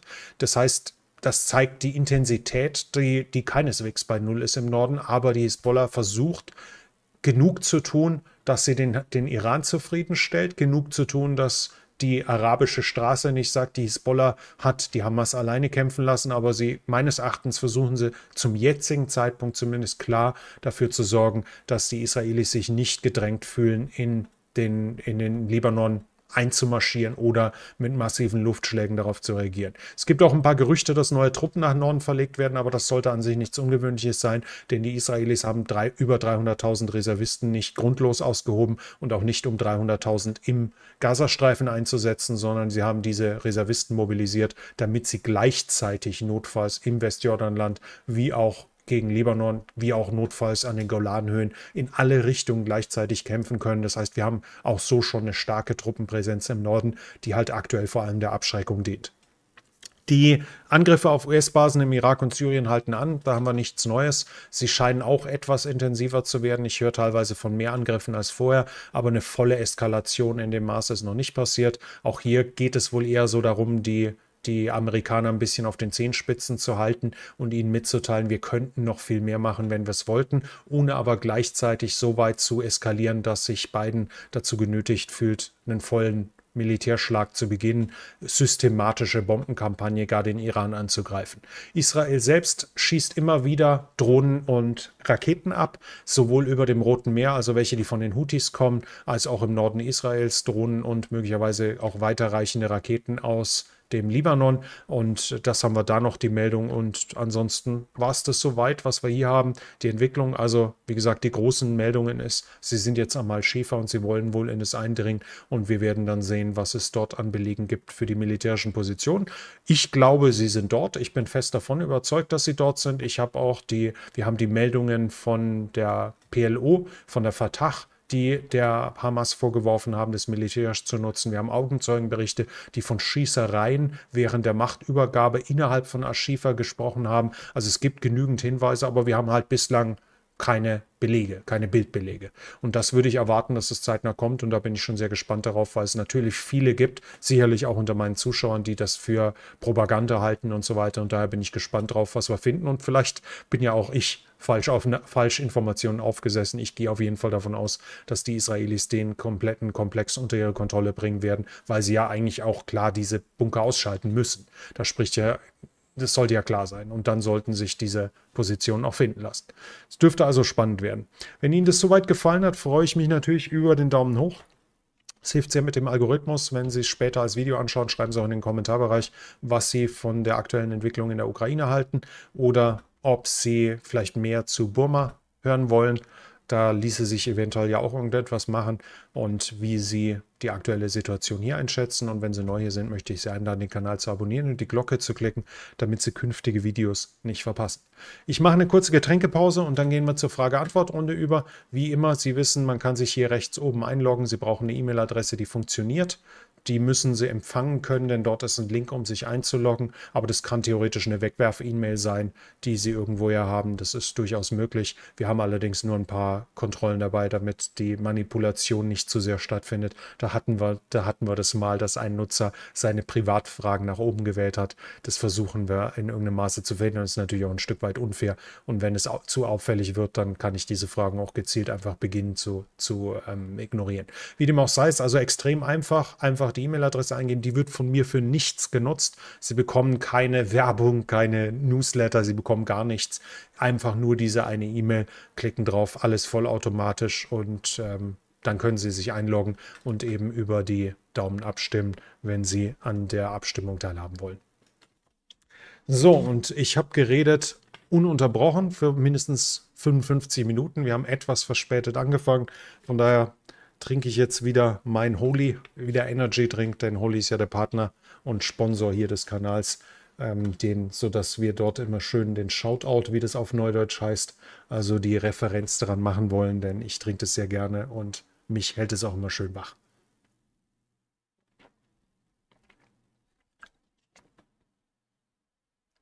Ich habe Citrus Cobra drin. Ähm, für mich sehr lecker. Und auch wenn ich kein großer Energy Drink Trinker an sich bin, muss ich sagen, dass mir die Citrus Cobra und Apple Alligator heißt der andere, die doch sehr gut gefallen und ich nutze es jetzt immer, um dafür zu sorgen, dass ich Ihnen nicht mehr sagen muss bei irgendwie Livestreams, dass ich jetzt zu müde sei. Gut. Nun aber genug Werbung. Dann aktivieren wir mal den Tabulator und schauen, wie das aktuelle Ergebnis ist. Würden Sie bei einem begrenzten Budget für den Winter eher in die Luftverteidigung oder in die Offensivkräfte investieren? Äh, Luftverteidigung vermutlich. Denn die Ukraine hat ihre hat es mehr recht als schlecht geschafft, dass die Infrastruktur im letzten Winter nicht zusammengebrochen ist.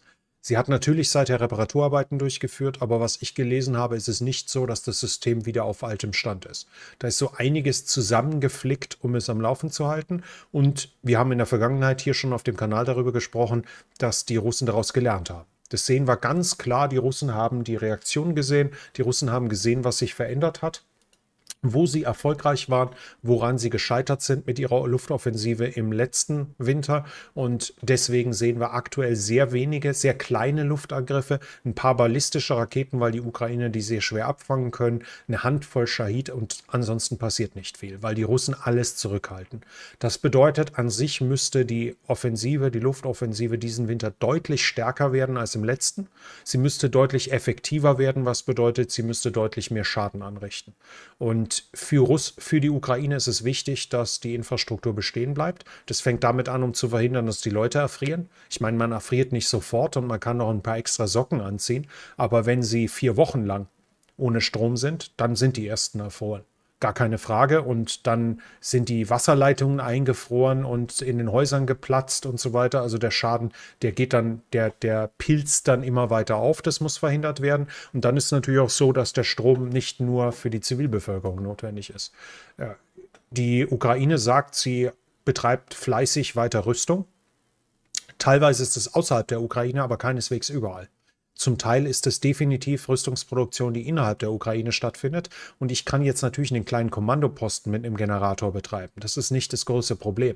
Halt einen, was weiß ich, 10, 20.000 Watt Generator oder drei oder vier von denen und ein, und ein paar Kanister Benzin pro Tag und dann läuft es schon mehr oder weniger. Aber eine Fabrikhalle, da brauche ich, brauche ich Generatoren in ganz anderen Größenordnungen.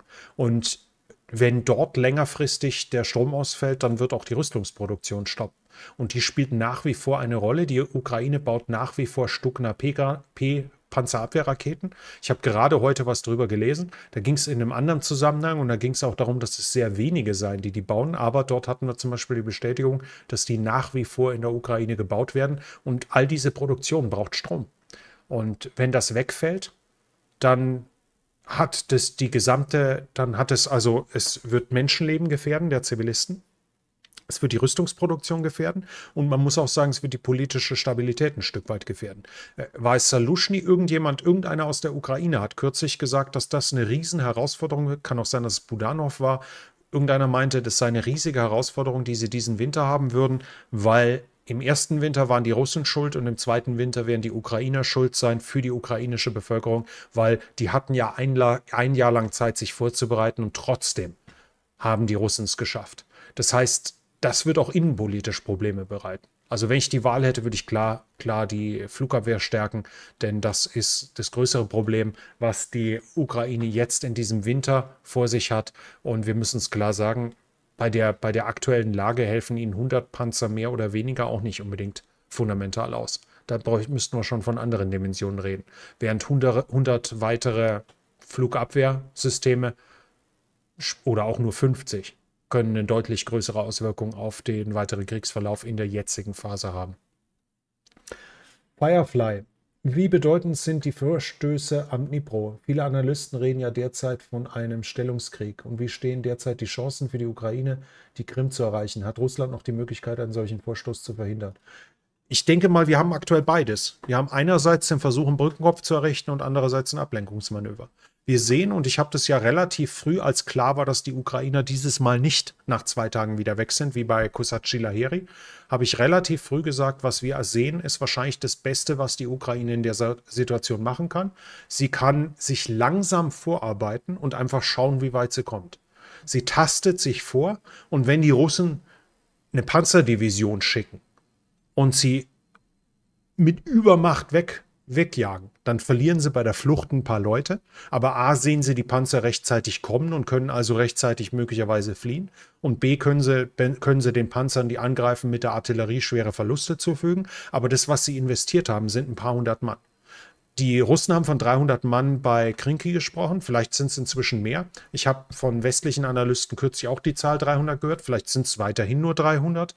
Im schlimmsten Fall verliert man 300 Soldaten. Das ist wir, ich weiß, mir völlig klar, wir reden von Menschenleben, die die Familie haben und alles einzelne Schicksale sind. Und mir ist der Zynismus, die, die, die Brutalität dieser Aussage völlig klar. Aber wir reden vom Krieg. Und da, da muss man dann fast Stalin zitieren, der Tod eines Menschen ist ein Schicksal und der, der Tod von Millionen ist eine Statistik.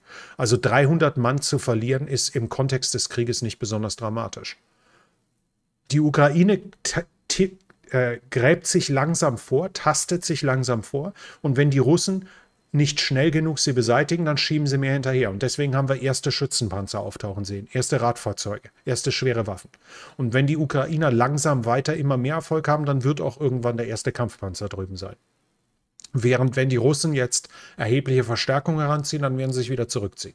Das heißt, wir können, wir haben beides. Wir haben einerseits eine, einen Versuch, Truppen zu binden, denn für die, wenn die Russen Verstärkung schicken, um diese Leute zu beseitigen, dann werden sie durch Artillerie schwere Verluste erleiden und die Truppen können woanders nicht eingesetzt werden. Und wenn sie nicht darauf reagieren, dann schafft die Ukraine es vielleicht, sich festzusetzen. So, so sehe ich das. Wie sind die Chancen derzeit, die Krim zu erreichen? Die gibt es nicht. Die jetzige Armee wird die Krim nicht erreichen. Da würde ich mich zu 98 Prozent festlegen und die 2 Prozent, weil Krieg immer einen Unsicherheitsfaktor hat. Wir haben aktuell, wie Salushny sagt, durch die Überlegenheit der Aufklärungsmittel praktisch einen statischen Krieg. Ein, ein Krieg, der kaum eine Bewegung herbeiführt. Um die Krim zu erreichen, müssten sie hunderte, hunderte, hunderte Kilometer vorrücken. Das ist aktuell völlig illusorisch. Das wird nicht passieren. Ähm, oh, allerdings werden wir auch nicht sehen, dass die Russen in ein paar Wochen in Dnipro sind. Das wird genauso wenig passieren. Das Problem ist auf beiden Seiten existent. Wir haben andererseits Hinweise. Ich bin nicht sicher, ich konnte es nicht mehr rechtzeitig überprüfen, wie weit dies genau ist, dieses Bild. Aber ich habe das zumindest in Vorbereitung gefunden hier. Das soll zeigen, wer wie viele Waffen erhält und es soll aus der pro-ukrainischen Seite kommen und es scheint mir so mehr oder weniger zu stimmen. Und demnach würden die Ukrainer hätten im Schnitt dieses Jahr jeden Monat 28 Panzer erhalten und die Schätzungen bei russischer Seite sind 100. Und hier sehen Sie die, die Differenzen in dem, was geliefert wird. Sehen Sie die, die Zahlen, auch was Granaten angeht. Das berechnet natürlich nicht eigene Produktion der Ukraine mit. Die ist hier interessanterweise weggelassen. Aber wir sehen, dass die Ukraine gerade nicht davor steht, materiell überlegen zu sein. Technisch vielleicht, denn wenn wir uns das hier anschauen, ist das allermeiste hält davon mit der russischen Seite mit und ist hier teilweise überlegen. Und ein Leopard 1 ist garantiert besser als ein T55 und eigentlich auch besser als ein T62. Also technologisch ist das allermeiste besser als das, was die Russen bekommen, aber die Russen bekommen eine verdammte Menge davon. Das aktuell wird es weder einen Durchbruch bis zum Dnipro geben, noch einen zu Krim. Was sind die Stärken und Schwächen des chinesischen Militärs? Schwäche ist sicherlich Korruption, die ein großes Problem ist, und die Ideologie. Denn es war zumindest mal der Stand, es war mal der Stand, dass, das ist jetzt schon acht oder zehn Jahre her, dass ich es gelesen habe. Also es kann nicht mehr, es mag sein, dass es nicht mehr stimmt. Aber es hieß mal, dass ein chinesischer Kampfpilot, ich glaube, 24 Stunden pro Woche ideologische Schulung hätte. Das sind drei Arbeitstage bei einer 8-Stunden-Woche. Drei Arbeitstage sitzt er da und muss sich Maos und Lenins, Lenins Ergüsse anhören und, und auswendig lernen. Wahrscheinlich, weil sonst erwartet wird, dass er mit seinem Flugzeug sich absetzen könnte, wird diese ideologische Indoktrinierung betrieben. Und das ist natürlich Zeit, die fehlt. Denn in der Zeit könnte er trainieren, könnte er Taktiken üben, könnte er im Flugzeug im Cockpit sitzen und fliegen. Also das ist sicherlich ein Problem der, der chinesischen Seite, aber ihre große Anzahl, des, des, die, die, die Größe des Militärs ist auf jeden Fall eine große Stärke und die ist inzwischen nicht mehr nur, nur altes Zeug. Die Chinesen haben immer noch, das, die müssten immer noch das größte Militär der Welt haben, wenn mich nicht alles täuscht. Ja, müssten sie haben. Und das ist nicht, das ist inzwischen wird mit jedem Jahr mit mehr modernen Flugzeugen ausgestattet. Die Kalkulationen sind, dass die Chinesen die USA überschreiten könnten in der Anzahl der einsatzbereiten fünfte Generations Kampfflugzeuge, weil die derart viele J-20 inzwischen bauen das heißt, wir reden nicht nur von einem großen Militär, sondern wir reden in zunehmendem Maße auch von einem modernen Militär. Und das muss ernst genommen werden. Sie haben wahrscheinlich noch irgendwo Typ 59 und Typ 69 Panzer und in die Pros sowieso, aber die neuen Typ 99 und wie sie alle heißen, die sind keine allzu schlechten Panzer mehr. Die können sich wahrscheinlich mehr oder weniger mit den westlichen messen. Das ist so in etwa wie ein moderner T-72. Es ist nicht das, der, der nicht der perfekte Panzer, wie ihn sich der Herrgott ausgedacht haben mag, aber einer, der auf jeden Fall das tun kann, was er soll. Das heißt, sie haben ein riesiges Militär, was in zunehmendem Maße auch gut ausgestattet ist. Und das ist auf jeden Fall ihre Stärke. Dazu mit der entsprechenden Industrie. Wenn man sich anschaut, die Statistiken, was sie in ihren U-Boot-Werften inzwischen bauen können, das ist, das ist angsteinflößend. Ich schau mal, ob ich es auf die Schnelle finde. Denn da gibt's da gibt's äh, Meldungen, ich weiß jetzt nicht. Ähm, und hier ist Nee, das ist es nicht hier. Also das sind, das sind Fabrikhallen, wo, glaube ich, 24 U-Boote gleichzeitig drin sein können. Also da ist, da gibt's, da gibt's Dinge, das ist die Produktionskapazitäten, die die Chinesen aufgebaut haben, die sind inzwischen ganz, ganz erheblich. Das wird sicherlich ein Problem sein.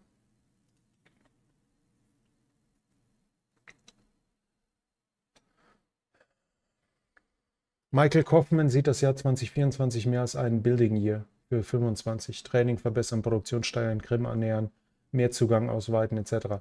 Teilen Sie seine Meinung? Was sind die russischen Pläne 24? On the Rocks Podcast. Äh, ich stimme Ihnen zu. Ich habe ich hab mich schon vor einer Weile festgelegt, dass ohne unerwartetes Frieden, Friedensende 24 der Krieg nicht vorbei sein wird.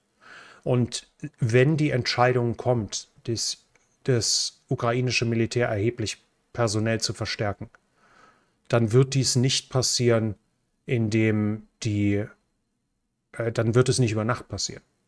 Wenn jetzt die, die USA entscheiden, sie wollen den, den Ukrainern 1000 Abrams zur Verfügung stellen, dann müssen die erstmal entweder umgerüstet oder gebaut werden und die, das Personal muss ausgebildet werden. Dass das in, in bis während 2024, dass diese, wenn das heute entschieden wird, dann werden die nicht im April einsatzbereit sein. Also, dass das da schließe ich mich, mich vollständig an. Dass das garantiert die Ukraine 24 nichts Fundamentales verändern wird, sondern sich, wenn dann, darauf vorbereiten muss, anschließend was mehr zu machen. Was werden die, ähm, was sind die russischen Pläne für 24? Wahrscheinlich auch erstmal Stillstand. Denn prinzipiell erwartet Russland, dass die Zeit für es läuft. Denn die russische Personalgewinnung scheint mehr oder weniger ohne Mobilmachung weiter zu laufen und die Russen steigern ihre Produktion. Und wenn die Intensität des Krieges nicht hoch ist, dann können sie damit ihren Bedarf decken und sich möglicherweise sogar personell aufstocken. Wenn die Intensität hoch ist, wie bei Avdivka, sieht es natürlich sehr, sehr schnell anders aus. Aber dann kommt noch dazu, dass die Präsidentschaftswahl in Russland ist. Und diese wird dafür sorgen, dass, die, dass Putin keine großen Schlachten will davor. Denn er will nicht, dass dann Todesnachrichten nach Hause kommen. Und die kann er natürlich unterbinden, aber er kann nicht unterbinden, dass Familien ihr versuchen, ihren Sohn zu erreichen und der nicht mehr antwortet, nachdem große Kampfhandlungen stattgefunden haben. Und da wird also von russischer Seite tendenziell wohl ebenfalls nicht die höchste Intensität zu erwarten sein. Also mal mal Geschichten wie bei Avdivka können wir nicht ausschließen. Aber dass wir irgendwie eine, eine, eine Großoffensive haben, von Kremina bis runter nach Marinka, auf der gesamten Front ein Vorstoßen mit großen Massen oder sowas, das scheint auch sehr unwahrscheinlich zu sein, denn Russland erwartet, dass der Krieg lange dauert und es bereitet sich darauf vor und es geht davon aus, dass der Westen in absehbarer Zeit die Möglichkeiten verliert, äh, die Lust verliert, die Ukraine zu unterstützen. Also die Russen glauben, auf lange Zeit werden sie den Krieg gewinnen und die Geduld müssen sie halt haben. Wie steht es um die 100 Panzerhaubitze 2000, welche von der Ukraine bestellt wurden? Gibt es aktuell, die, es dauert Ewigkeiten, bis was ausgeliefert wird. Auch die, die, die RCA 155 wird, ich glaube, vor 25 nicht in der Ukraine sein, obwohl es nur 16 waren. Also die Bestellungen dauern Ewigkeiten, bis die anlaufen. Da hat sich nichts dran geändert. Bis auf weiteres wird sich da fundamental nichts ändern. Okay. Ich merke gerade, Stream Elements versagt mit jedem Tag mehr. Mir zeigt es jetzt keine Superchats mehr an. Und jetzt aber plötzlich, wenn ich update, zeigt es mir wieder ein, ein beschenkte Mitgliedschaft an. Naja, gut. Dann gehen wir hier rüber. Dann bedanke ich mich bei Andreas Spitz. Andreas Spitzli, danke bei Ihnen und bei Gregor Ruos. Ebenfalls vielen Dank an Sie für die Unterstützung. Was müsste der Westen liefern, damit die Ukraine so große militärische Überlegenheit aufbauen kann, dass, die, dass sie die Russen vollständig aus ihrem Territorium verdrängen? Das wird Ihnen nächste Woche in einem Video beantwortet. Das Video ist gerade im Schnitt. Also von daher will ich, dass Sie das Video anschauen und dementsprechend werden Sie verzeihen, dass ich diese Frage jetzt zurückstelle. Ähm, Dankeschön, Anna. Um bei FMJ, was ist nochmal FMJ? Zu bleiben, Krieg ist die Hölle. FMJ. Irgendwie die Kürzung, die, die, das Kürzel läutet irgendeine, irgendeine Klingel, aber mir fällt es gerade nicht ein. Anna, danke für die Unterstützung. Würde eine großflächige Zerstörung von ukrainischer Infrastruktur und dementsprechendes Leid unter der Zivilbevölkerung nicht auch in Russland, im russlandfreundlichen Ausland für Verunstimmung sorgen? Erfrorene Kinder kommen nirgendwo an, gut an. Ja, es wird wahrscheinlich nicht viele erfrorene Kinder geben, weil die Ukraine schon dafür sorgt, dass mit westlicher Hilfe das nicht zu viel passiert. Und seien wir mal ehrlich, wer jetzt noch zu Russland hält, dem ist es egal solange die Russen, ich meine, denen war Butscha egal, denen war Mariupol egal, denen war, war, war der verdammte Angriff auf die Ukraine egal. Die lassen sich jetzt davon auch nicht aufhalten. Wir haben ein paar, die sind ideologisch mit den Russen eng verbunden. Die, die, solange es gegen den Westen geht, sind die glücklich. Wir haben ein paar, die sind von Russland abhängig, also werden die immer tun, was Russland will. Völlig egal hier. Wir, wir haben ein paar Staaten, die profitieren, die sind zu sehr von Russland abhängig auf wirtschaftliche Art und Weise, auf militärische Art und Weise. Indien ist hier das perfekte Beispiel, als dass die sich mit denen anlegen. Und dann haben wir Staaten, denen einfach alles egal ist, weil sie nur bis zur nächsten Wahl denken. Das wäre dann zum Beispiel Brasilien. Dass Brasilien es großartig findet, wenn jemand ein Nachbarland überfällt, kann ich mir nicht vorstellen. Aber Lula ist es schlicht egal. Weil Lula will auf der Weltbühne wichtig sein und er will, dass in Brasilien, wenn, er, wenn sich Brasilien an irgendwelchen Sanktionen beteiligt und es nur zu 2% weniger Handel führt, dann sind Leute arbeitslos und die sind sauer. Also warum soll er es machen? Denn Russland wird Brasilien nicht angreifen, ist ja kein Nachbarland. Wenn man weit genug von Russland weg ist, kann einem das ja wieder egal sein. Das ist ähnlich in Afrika. Dort sind es dann Waffen, die geliefert bekommen, das ist politische Unterstützung in der UNO, die man bekommt, dafür, dass man Russland freundlich ist oder es ist ähm, andere wirtschaftliche Unterstützung. Und wenn ich in der Zentralafrikanischen Republik sind, bin, dann erwarte ich nicht eine russische Invasionsstreitmacht. Also wenn die Russen wieder Länder überfallen, kann mir das erstmal, wenn ich, wenn ich nicht in große ähm, Maßstäben denke, erstmal egal sein. Das heißt, ich glaube nicht, dass das nennenswert zu Problemen führen wird. Denn diejenigen, die sich mehrheitlich an russische Seite gestellt haben, die lassen sich dann auch nicht von tausend toten Kindern abhalten. Oder auch von zwei oder dreitausend, wenn wir ehrlich sind. Dr. Milzbrand, kleine, unter, kleine Unterstützung für den, kleine Unterstützung für Ihren Kanal und anbei eine kleine Unterstützung für Ihren Kanal. Okay. Irgendwie doppelt. Äh, Grüße, ja, danke, danke, Dr. Milzbrand. Danke für die Unterstützung. Aktuelle Umfrage von Russian Field. Erstmals eine Mehrheit der befragten Russen für Friedensverhandlungen mit der Ukraine. Bröckelt die Unterstützung für Russlands militärische Spezialoperation. Auch hierauf gehe ich ein in dem Video. Auch dort erwähne ich, dass die Mehrheit Friedensverhandlungen wünscht. Äh, von russischer Seite. Von daher muss ich, muss ich, auch wenn es eine gesponserte Frage ist, muss ich in der Hinsicht einfach abbrechen, weil ich das Video richtig Zeit investiert habe in das Video und es gerade im Schnitt ist und da kann ich nicht jetzt die Inhalte vorneweg erzählen. Ich bereite ein Video vor, wie die Ukraine den Krieg schnell nicht nur gewinnen kann, sondern wie sie ihn schnell gewinnen kann. Also nicht in acht Jahren. Und ähm, das ist, da wird mit darauf eingegangen. Kann ich mal kann, bröckelt die Unterstützung. Ja, ein Stück weit kann ich darauf eingehen. Also, das ist das Video, was kommen wird. Ähm, ich kann es eigentlich doch beantworten, weil ich das nur ein Stück weit anschneide. Die Russen sind einfach kriegsmüde. Ich meine, man, man bekommt mit, dass es mehr und mehr Tote gibt. Und gleichzeitig mag die Propaganda der russischen Regierung gut sein. Aber irgendwann ist es einem entweder glaubt man halt doch nicht genug, dass das alles blutrünstige Nazis sind. Oder man sagt sich, naja, wir haben doch jetzt die russischen Gebiete besetzt, also könnte man doch eigentlich jetzt aufhören.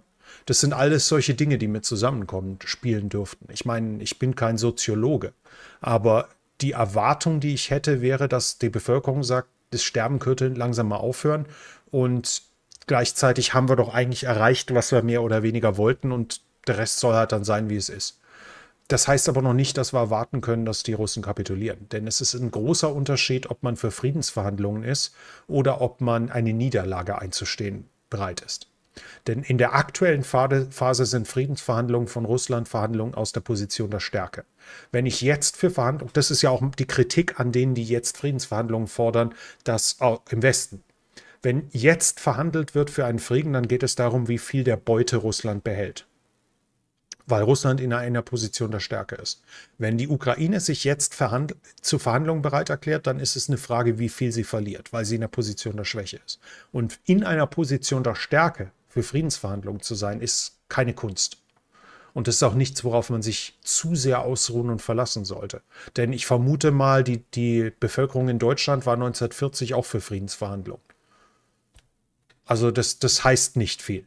Ich würde das nicht überbewerten. Das heißt nur, dass die Kriegsbegeisterung in Russland nicht da ist, in dem Sinne von, ja, wir müssen und am besten bis, zur, bis, bis zum Atlantik durchstoßen. Das ist nicht da. Das können wir daraus lesen. Aber dass die Russen bereit wären, einen Frieden, einen Frieden zu akzeptieren, der keine ukrainische Kapitulation wäre, das ist eine ganz andere Frage. Denn wenn die, das Umfrageinstitut äh, Sie fragt, akzeptieren Sie, akzeptieren Sie es, dass die dass die Ukraine verliert, äh, dass, die Russ dass Russland verliert. Wollen sie Frieden, auch wenn Russland verliert? Dann sind die Umfrageergebnisse vielleicht etwas anders. Ja, ich, ich, Fuzzy schreibt mir FMJ sei Full Metal Jacket. Das ist mir schon klar, aber das ergab mir da auch nicht so ganz Sinn. Ach so, bei dem, dem, dem Film dann Full Metal Jacket. Okay. Ja, okay. Dann ergibt es Sinn das Geschoss, also Vollmantelgeschoss, dass das Full Metal Jacket heißt, war mir klar, aber ich habe den genauen, den genauen Zusammenhang mit dem, mit dieser Zitat nicht verbunden. Alles klar, danke, Fasi. Äh, Anna, nochmal, der Staat Ukraine ist kaputt und es wird Milliarden kosten, den wieder aufzubauen. Europäer schaffen das nicht, haben genug Probleme vor Ort, Fragezeichen. Naja, viel Volkswirtschaft ist Voodoo. Man nimmt halt einfach ein bisschen Schulden auf und druckt ein bisschen Geld. Und erklärt dann, dass es schon irgendwie wieder zurückfließt und ich habe keine Ahnung. Also ich vermute mal, dass man das Geld, wenn man unbedingt will, schon auftreiben kann. Denn überlegen wir uns mal, was die, die Garantien gekostet haben und die, die Deutschland übernommen hat für die sogenannte Euro-Rettung. Im Ganzen waren es, glaube ich, 700, 800 Milliarden Euro. Das war auf dem Papier eine beeindruckende Zahl, aber die Mehrzahl der, die Mehrzahl der Deutschen hat es zumindest für den Moment nicht gemerkt, dass dies in irgendeiner Art und Weise eingetroffen ist.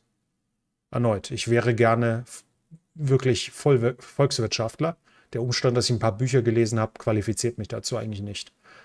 Das qualifiziert mich dazu nicht. Ich vermute mal, dass man mit irgendwelchem Voodoo das schon hinbekommen wird, dass man hier und dort ein paar hundert Millionen 100 Milliarden auftreiben kann. Im Zweifelsfall nimmt halt die, nimmt halt die EU Schulden auf, um das zu bezahlen und die Schuldscheine werden von der Europäischen Zentralbank ausgegeben, was dann de facto Gelddrucken ist. Das treibt zwar die Inflation an, aber das ist die einfachste Möglichkeit. Also ich, ich gehe davon aus, dass Europa den Aufbau bezahlen kann.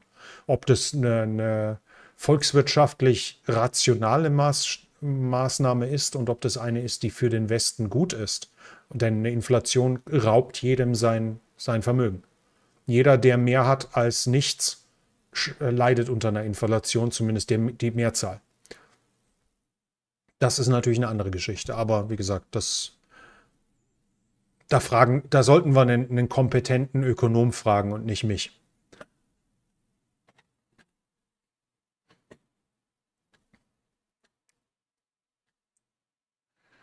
Wie gut können Wiesel und Ocelot der Ukraine an der Dnipro-Front helfen? Wahrscheinlich gut. Ich meine, Lieb Wiesel ist, das haben wir glaube ich schon mal festgestellt, nicht schwimmfähig, zumindest in den neuen Rüstsätzen nicht mehr, aber er ist winzig und damit problemlos zu verstecken. Das heißt, den kann man zwischen ein paar Büscheln stellen und dann sehen ihn die Russen nicht. Die 20 mm Maschinenkanone dürfte im Häuserkampf böse sein, weil die sehr schnell sich durch eine Hauswand frisst und man also im Haus nicht geschützt ist. Irgendein Schützenpanzer der Russen macht die genauso klein, zumindest wenn sie ihn von der Seite erwischt. Selbst einem Kampfpanzer kann die gefährlich werden und einem Hubschrauber sowieso. Der, der Ocelot ist der mit den Flugabwehrraketen, kann Drohnen abschießen, kann angreifende Kampfflugzeuge abschießen, angreifende Hubschrauber und das alles eben während das Ding sehr, sehr klein ist. Und dann gibt es ja den, noch den Wiesel mit den Panzerabwehrraketen, der also Bodenziele bekämpfen kann, sei es tatsächlich gepanzerte Ziele, sei es irgendwelche Gebäude. Die wären großartig.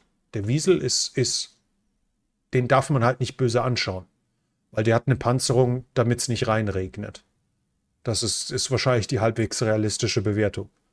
Ähm, der sollte besser nicht böse angeschaut werden. Also wenn dort massives Artilleriefeuer drauf legt, dann wird er auch nicht allzu lange halten. Aber Wiesel ist ein großartiges Fahrzeug und gerade die geringe Größe mit der monströsen Feuerkraft im Verhältnis ist natürlich ein Riesenvorteil. Also, dass der Wiesel für die Ukraine toll wäre, das denke ich mal, sollte, ich denke mal, da kann man sich ohne weiteres drauf einigen.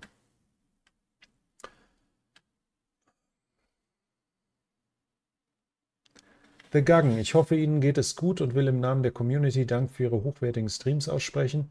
Was waren die Sachen, die Sie bei der ukrainischen Armee und russischen vor dem Krieg völlig anders eingeschätzt haben? Ich bin, ich bin die übliche, der übliche Analyst gewesen. Ich, halte ich nicht geheim. Ich dachte, das ist eine Sache von Tagen. Die ukrainische Armee hatte ich die im Kopf, die 2014, 15 gekämpft hat wo die, der ukrainische Oberkommandierende gesagt hat, er kann, er hat irgendwie 120.000 Mann und kann fünf von den 5.000 kann er kampffähige zusammenkratzen, wo von drei Panzerabwehrraketen, ich glaube zwei, überlagert waren und daher nicht funktioniert haben. Das heißt drei oder was umgekehrt, was eine von drei oder zwei von drei. Also auf jeden Fall eine inakzeptable, inakzeptabel hohe Zahl. Das, das war eine Operettenarmee. Das war eine Paradetruppe. Unfassbar schlecht ausgerüstet, unfassbar demotiviert, äh, schlecht ausgebildet, die waren Witz. Die ukrainische Armee von 2014 war ein schlechter Witz. Das war nur gut, damit sich der Verteidigungsminister wahrscheinlich bereichern kann. Die Entwicklung, die die ukrainische Armee seither gemacht hat, natürlich habe ich mitbekommen, dass sie hier und dort was geliefert bekommen haben. Natürlich habe ich mitbekommen, dass es Trainingsmissionen gab. Aber wie erfolgreich die waren, hatte ich keine Ahnung. Und bei den Russen, ich meine, wann haben die das letzte Mal gekämpft? Die Russen sind nominell so und so viel größer. Sie haben moderneres Gerät. Präsentieren sie ja in aller Welt. Ich war sehr überrascht, als ich dann T-72 AV gesehen habe an den ersten Tagen östlich des Kiew-Reservoirs. Da sind sie mit alten T-72 AV rumgefahren. Also da war schon sehr schnell klar. Und BMP-1 mit Sega drauf, mit der, der Maljuka. Panzerabwehrrakete. Völlig veraltet. Habe ich auch in den ersten Tagen gesehen. Das war schon überraschend für mich, wie viel veraltetes Material noch dabei ist. Aber dass die Russen kleinen, kurzen Prozess mit den Ukrainern machen, davon war ich fest überzeugt. Und wie gesagt, ich, ich bin einer von, von sehr, sehr vielen. Ist halt so. Da lag ich halt falsch. Und ich lag seither ja auch schon das ein oder andere Mal falsch und ich werde auch wieder falsch liegen. Das Einzige, was ich tun kann, ist daraus versuchen zu lernen und meinen Fehler einzugestehen, denn wenn man, ja, ich, ich, ist auch keine Schande. Wenn man aus Fehlern nicht lernt, dann, dann ist es eine Schande. Und wenn man sich davor schämt, sich, sich trotz besseren Wissens den Fehler nicht eingesteht, dann sollte man sich auch schämen. Aber ich hatte, ich hatte gedacht, dass die, das im ersten Video, glaube ich, es müsste das erste Video auf dem Kanal hier gewesen sein, wo ich sage, die Russen werden so weit vorrücken, wie sie wollen. Ich dachte, ich dachte, die marschieren einfach und entscheiden sich dann irgendwann so, Odessa haben wir jetzt und äh, Lemberg brauchen wir nicht. Das war meine Erwartung. Knapp vorbei. Knapp vorbei.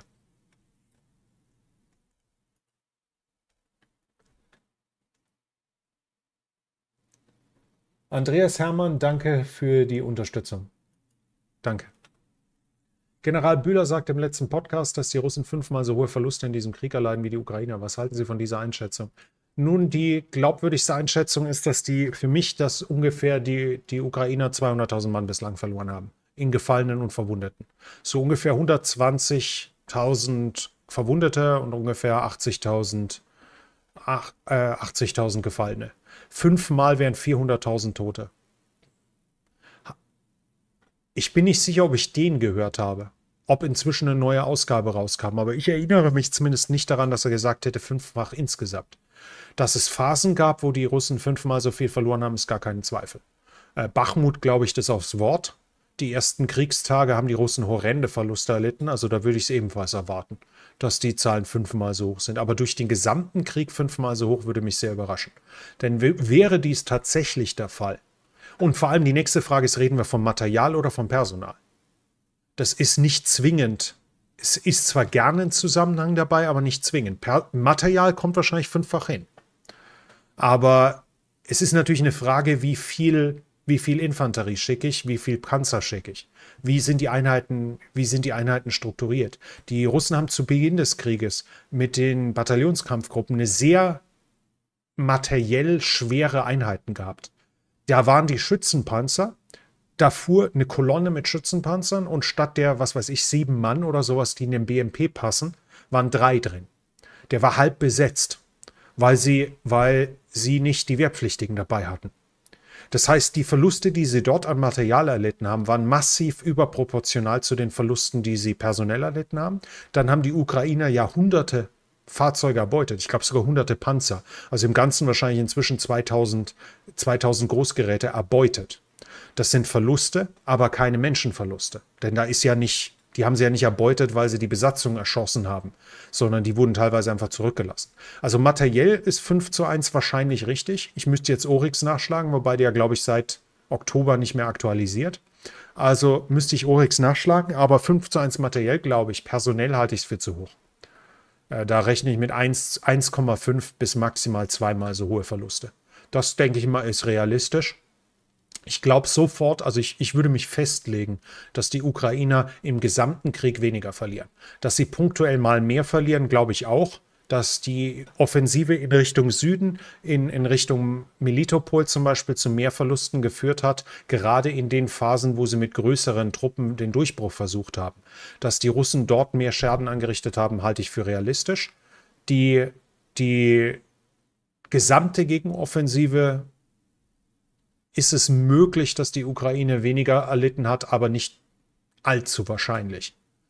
Im gesamten Krieg würde ich mich nahezu festlegen, dass sie weniger Verluste erlitten haben, weil wir sehen, dass sie einfach kompetenter vorgeht und sparsamer mit ihrem Personal vorgeht.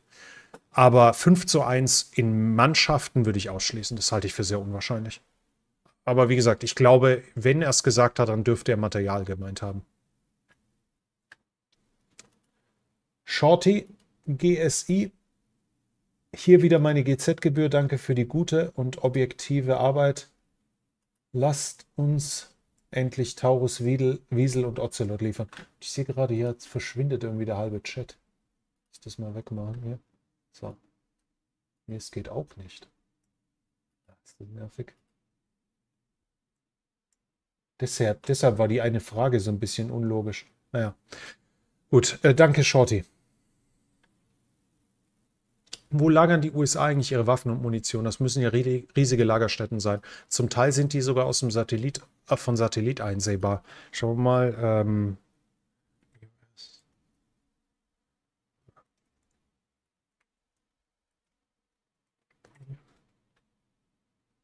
da haben wir hier zum Beispiel.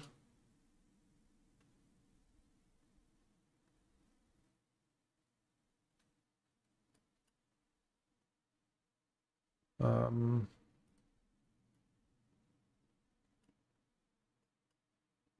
Schauen wir mal auf Satellit.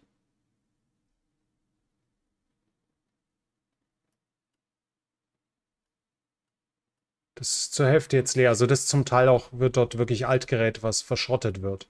Aber nicht alles ist davon zwingend ausgemustert.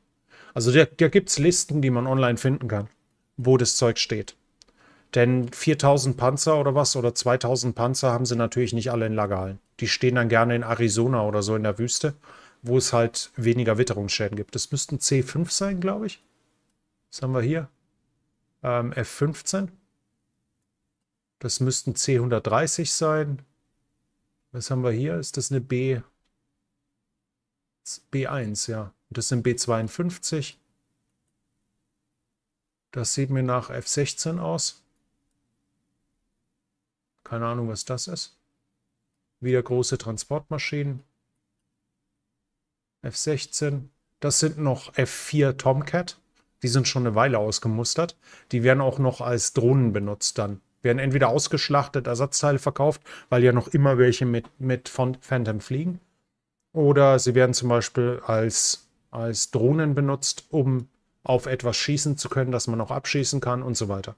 Also da gibt es eine ganze Reihe, wo die, wo die Dinger aufbewahrt werden. Einfach mal suchen und das kann man sich auf Satellit anschauen. Das sieht ziemlich beeindruckend aus.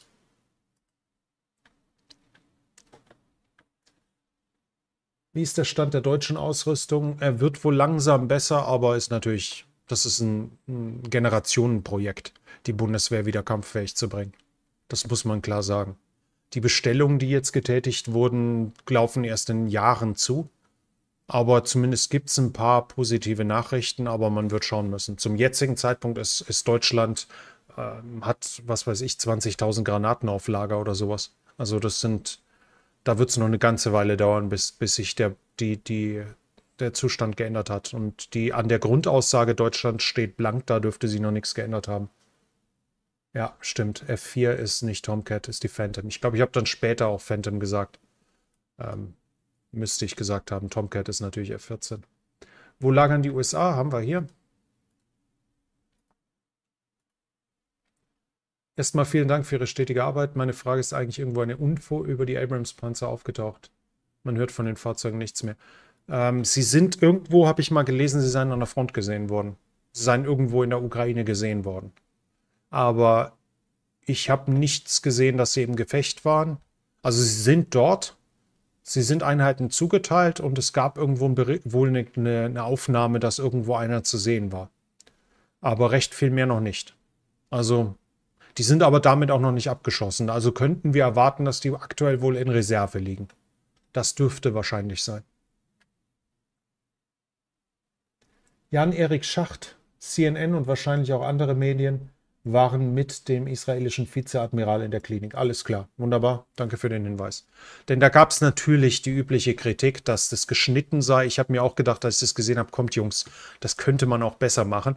Denn in dem Video sieht man, zum Teil ist es beschleunigt. Die einfachste Methode wäre gewesen, zu filmen, während er reinläuft und das halt in sechsfacher Geschwindigkeit abzuspielen, damit es nicht minutenlang nichts ist, sondern damit man ganz schnell Reingehen sieht. Da gab es natürlich sofort Vorwürfe, dass sie das alles fingiert hätten. Und der Vorwurf, dass sie die Sachen extra hingelegt haben, kann natürlich auch aufkommen und der ist garantiert auch schon gekommen. Aber ich meine, am Ende ist, ist, es gibt Leute, die glauben, dass die Massaker am 7. Oktober nicht stattgefunden haben und die Israelis das inszeniert haben. Jeden letzten wird man nie überzeugen können, weil manches einfach nicht, nicht äh, wissen will. Weil manches einfach nicht wissen wollen. Stefan Deuling, vielen Dank für die fünf verschenkten Mitgliedschaften, sehr freundlich. Warum baut die Ukraine keine Shahid-Drohnen? Das kann doch für den Westen keine Herausforderung darstellen. Kann es nicht. Wir haben Drohnen inzwischen. Die Ukraine baut ja ihre Bobber, die deutlich sinnvoller sind wahrscheinlich. Und die, die Briten haben an Drohnen gebaut. Aber wir müssen sagen, zum jetzigen Zeitpunkt ist wohl die Ansicht, dass man etwas in dieser Art nicht braucht. Aber letztendlich, Entschuldigung, letztendlich arbeitet die Ukraine dran an ihrer eigenen Drohnenflotte. Und deswegen haben wir ja teilweise Tage, wo von 20 Drohnenangriffen auf der Krim gesprochen wird. Weil die Ukraine derart viel investiert in ihre Drohnenproduktion und die ganz erheblich gesteigert hat. Ich mache nochmal, wenn sie funktioniert. Ach, ich weiß nicht, was das soll. Gut, mache ich nochmal eine Getränkepause.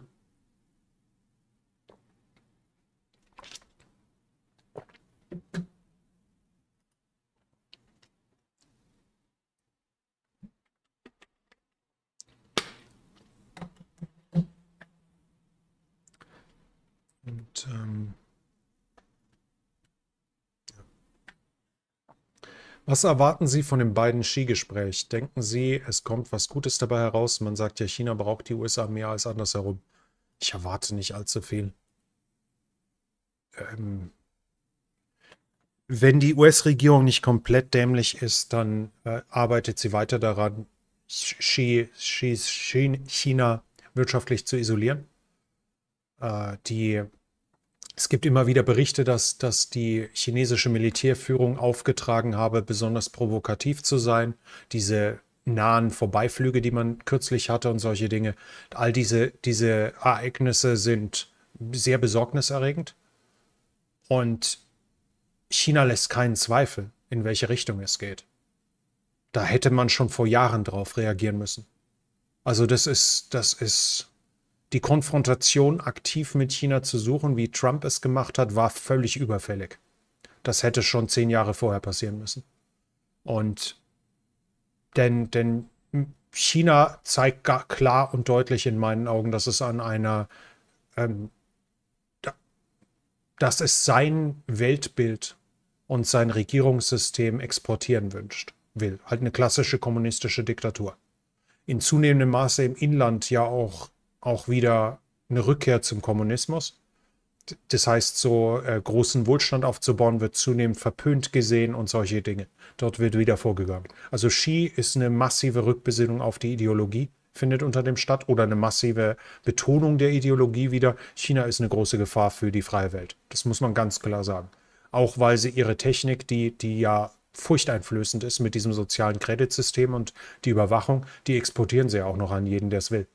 Das ist das Nächste. Also jeder Schurkenstaat wird künftig solche Sachen haben können, weil China ihm die Technologie verkauft. Sie wissen, dass ich ja China-Falke bin. Ähm, das heißt, China liefert aktuell keine Waffen an Russland. Es liefert aktuell keine Munition, zumindest beides nicht in nennenswerten Größen. Es gab ja die Gerichte, dass irgendwie 2000 in Anführungsstrichen Jagdgewehre geliefert worden seien, die wohl eher Scharfschützengewehre waren. Das war nicht ohne, aber der Unterschied zwischen Jagd- und Scharfschützengewehr ist in der Tat fließend. Denn ein 308-Gewehr ist absolut jagdlich gebrauchbar. Und wenn das entsprechend konstruiert ist, dann kann ich damit auch auf 800 bis 1000 Meter als Scharfschütze auf einen Menschen schießen. Da kann ich nicht nur auf Rotwild schießen, sondern auch auf einen Menschen. Also es ist tatsächlich die Unterscheidung zwischen einem Jagdgewehr und einem Scharfschützengewehr ist nicht so eindeutig, wie man es glaubt. Aber China liefert wirklich Waffen nicht, nicht in, in einem nachweisbaren Größenordnung.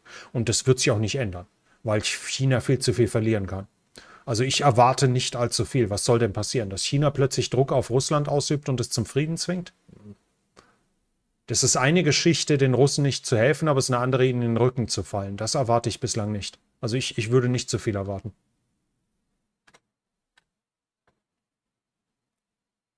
BN, danke für die Unterstützung. Rheinmetall wird Luftlandefahrzeuge Karakal Ende 23 an die Ukraine liefern. Wo sehen Sie die Einsatzgebiete? Spezialtruppen. Das ist, das ist ein Spezialtruppenfahrzeug. Da ist, da ist keine Zweifel, dass die, dass, dass halt irgendwelche Spetsnaz-Einheiten oder sowas benutzen werden. Ähm, denn dafür ist es gedacht. Ich wüsste nicht, was der ansonsten zu gebrauchen hätte. Deswegen sind es ja auch nur fünf. Denn das Ding ist ungepanzert. Da werden, das ist im Prinzip ein Wolf, bei dem alles Metall entfernt wird. Also die Türen, das Dach und so weiter. Da ist nichts, was auch nur einen Splitter aufhält. In der jetzigen Situation brauchen sie gepanzerte Fahrzeuge, nicht ungepanzerte, die einfachen Soldaten. Wer aber so ein Zeug gebrauchen kann, ist irgendeiner, der im Hinterland operiert. Ich vermute mal, mit der Mi-17 kann man ihn nicht tragen. Und ich, ich glaube, Mi-26 haben die Ukrainer nicht mehr. Aber vielleicht kann man ihn mit einem kleinen Boot irgendwo über, über den Dnipro bringen und dann fährt man mit dem im Hinterland herum oder sowas. Also für, die sind für Spezialkräfte gedacht. Das ist A vom Fahrzeug aus ausgehend und B von der Stückzahl. Denn wenn das 500 wären, wäre es eine andere Geschichte, aber 5 ergibt nur Sinn, wenn ich eine Spezialeinheit vom GUR oder sowas damit ausstatten will.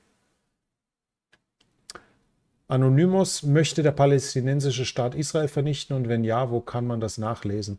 Man kann zum Beispiel die Charta der, der Hamas sich anschauen, wo nicht nur eine Auslöschung Israels gefordert wird, sondern eine Auslöschung der Juden.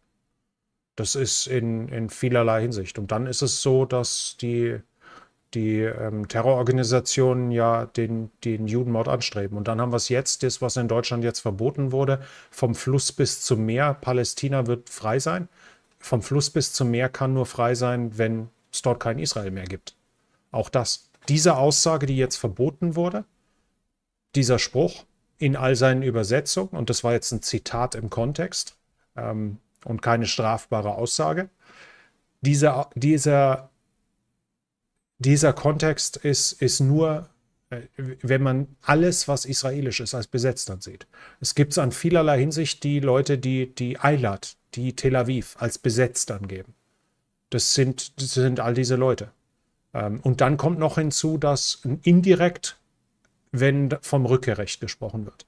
Denn in dem Moment, wo die jüdische Identität Israels aufgehoben wird, weil man jeden, der palästinensische Herkunft beansprucht, nach Israel einwandern lässt und ihm die Staatsbürgerschaft gibt und Israel damit keine jüdische Mehrheit mehr hat, dann ist Israel vielleicht vom Namen noch existent, bis es umbenannt wird, aber es ist kein jüdischer Staat mehr und damit ist Israel de facto auch vernichtet. Wenn ich die, die ein, ein Volk ausmachende Bevölkerung äh, komplett ersetze. Ich meine, es gibt auch noch Indianer in den USA, aber niemand würde die USA als Indianerland bezeichnen. Das ist jetzt in ein bisschen anderen Dimensionen, aber ich denke, es, äh, man weiß, worauf ich hinaus will.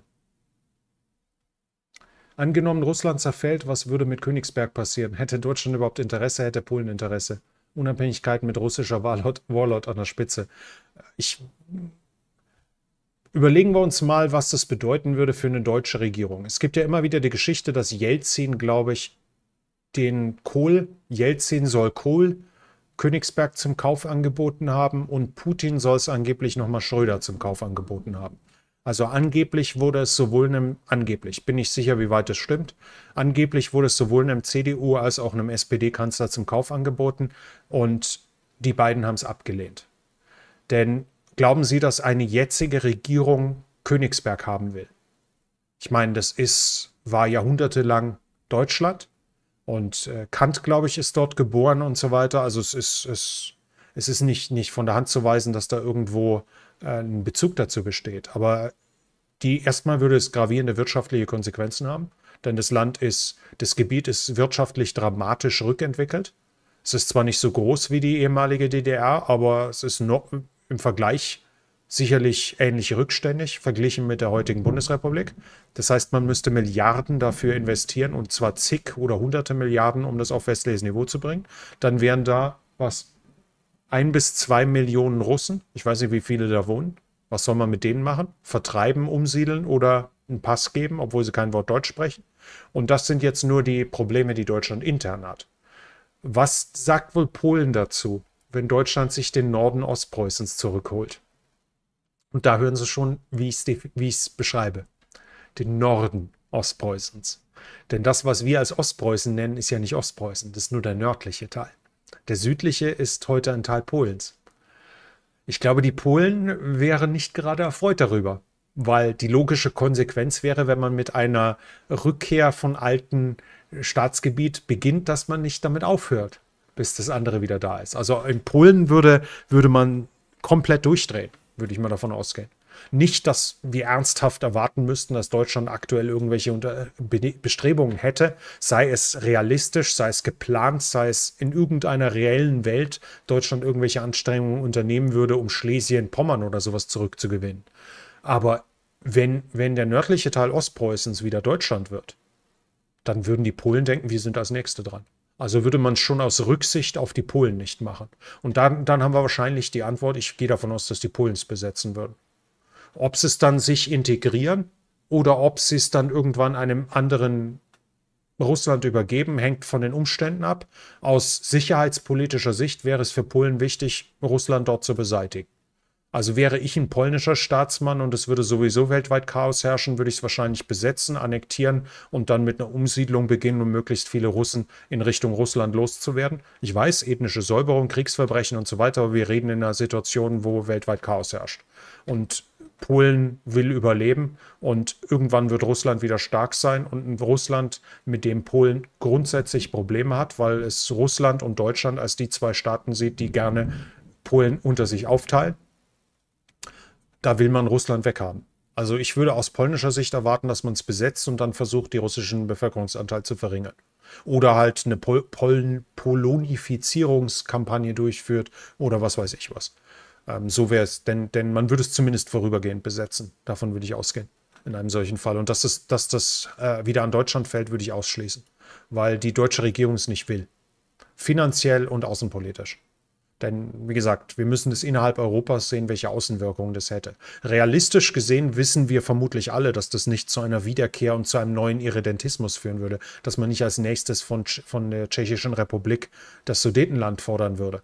Und äh, das, das realistischerweise ist das nicht die Konsequenz, aber so würde es halt von Teilen gelesen werden. Davon könnten wir, könnten wir wahrscheinlich ausgehen. Auch wenn, wenn mir Fasi gerade schreibt, Kaliningrad nur 490.000 Einwohner hat, Einwohner hat. Aber das ist dann die Stadt. Im Umkreis werden es dann wahrscheinlich nochmal 100, 200.000 sein. Also auch wenn es nicht so viel, also ich, ich kann es mir nicht vorstellen. Der Zug ist abgefahren, das wird nie wieder deutsch sein. Stefan, Grüße aus Stuttgart, Grüße zurück. Dankeschön. Danke für die Unterstützung. Ist Israels Filmbeweisen zu trauen oder schneiden sie sich das auch zurecht, wie sie es brauchen? Das ist eine Überzeugungssache. Muss man ganz klar sagen. Ähm, sie wissen, wie ich, wie ich ideologisch in dem Konflikt stehe. Da mache ich wenig, wenig, ähm, wenig Aufheben drum. Da halte ich kein Geheimnis. Aber wir müssen klar sagen, natürlich kann Israel fälschen. Ich meine, wir wissen von dem Anschlag am 7. Oktober hat die Hamas selbst gefilmt. Ich habe selbst die Videos gesehen. Ich habe die Helmkameras gesehen. Da wissen wir, was passiert ist. Aber das hier kann man auch hier hinlegen, wenn man das unbedingt will. Macht die, machen die Israelis das? Wir müssen verstehen, dass die Israelis versuchen, westliches Land zu sein, aber dass die Israelis in sich völlig verstehen, wo, in welcher Region ihr Land ist. Ich habe dann einen wunderbaren Artikel gehabt, ich glaube, den habe ich auch mal, mal irgendwie auf Facebook oder irgendwo habe ich es mal geteilt, wo, wo, wo einer gesagt hat, die Israelis wissen das und ähm, das war auf Englisch, der war auf Englisch, aber ähm, im Sinne von, die Israelis seien bereit, den anderen Nationen zu zeigen, we are willing to out crazy you. Wir sind willens, noch verrückter zu sein als ihr. Das heißt, wenn es sein muss, ist Israel auch zu Maßnahmen bereit, die im Westen nicht durchgeführt werden. Jetzt können wir das entschuldigen und erklären, so im Sinne von einem Staat, der seit seiner Gründung Nachbarn hat, die sagen, wir wollen euch auslöschen. Von dem kann man nicht unbedingt erwarten, dass er immer die Samthandschuhe anlässt. Äh, wir können damit reden, dass es rundherum mit Diktaturen eigentlich die allermeiste Zeit zu tun hat, die seine Auslöschung wollen mit Terrororganisationen und so weiter. Wir können viel erklären, viel entschuldigen, aber das ändert natürlich erst einmal auch, auch nichts an den Fakten. Können die das da hingelegt haben? Ganz klar, ganz klar. Was ein bisschen Hinweis wäre, ist, wenn wir zum Beispiel hier, das sind, aber hier zum Beispiel haben sie ja klar aufgefahren. Hier haben sie es sogar hingelegt auf dieser Aufnahme. Das ist ja kein Zweifel. Das war ja nicht so gelagert. Die haben das so hingelegt, um es uns so zu präsentieren. Das war vorher in Schränken, in Ecken liegend und sonst irgendwo. Da, da, das erklärt sich aus dem Kontext. Was das Motorrad zum Beispiel angeht, der Staub, das ist schon ein höherer Aufwand, den, den anzubringen. Wo war das? War das hier? Hier irgendwo, ja. Also das ist klar älterer Staub. Aber jetzt gibt es sicherlich auch irgendwelche so Filmtechnik und so weiter, die können auch Staub fälschlich erzeugen. Also ist es möglich, dass die Israelis uns irgendwas Falsches zeigen? Immer. Ja. Ich halte es nur nicht für wahrscheinlich. Das ist das Ähnliche mit den, mit den Todesopfern bei dem Anschlag. Da gab es Falschmeldungen. Es gibt eine deutsch-israelische Journalistin, die hat geschrieben, es seien 40 Babys geköpft worden. Das stimmt meines Wissens nicht es sind ziemlich sicher Babys geköpft worden. Ich habe, es gibt ein Video, bei dem ein Kleinkind enthauptet wird. Und es gibt Aufnahmen, die von einem halb abgetrennten Kopf sprechen. Jetzt ist es natürlich so, dass da ein Unterschied besteht.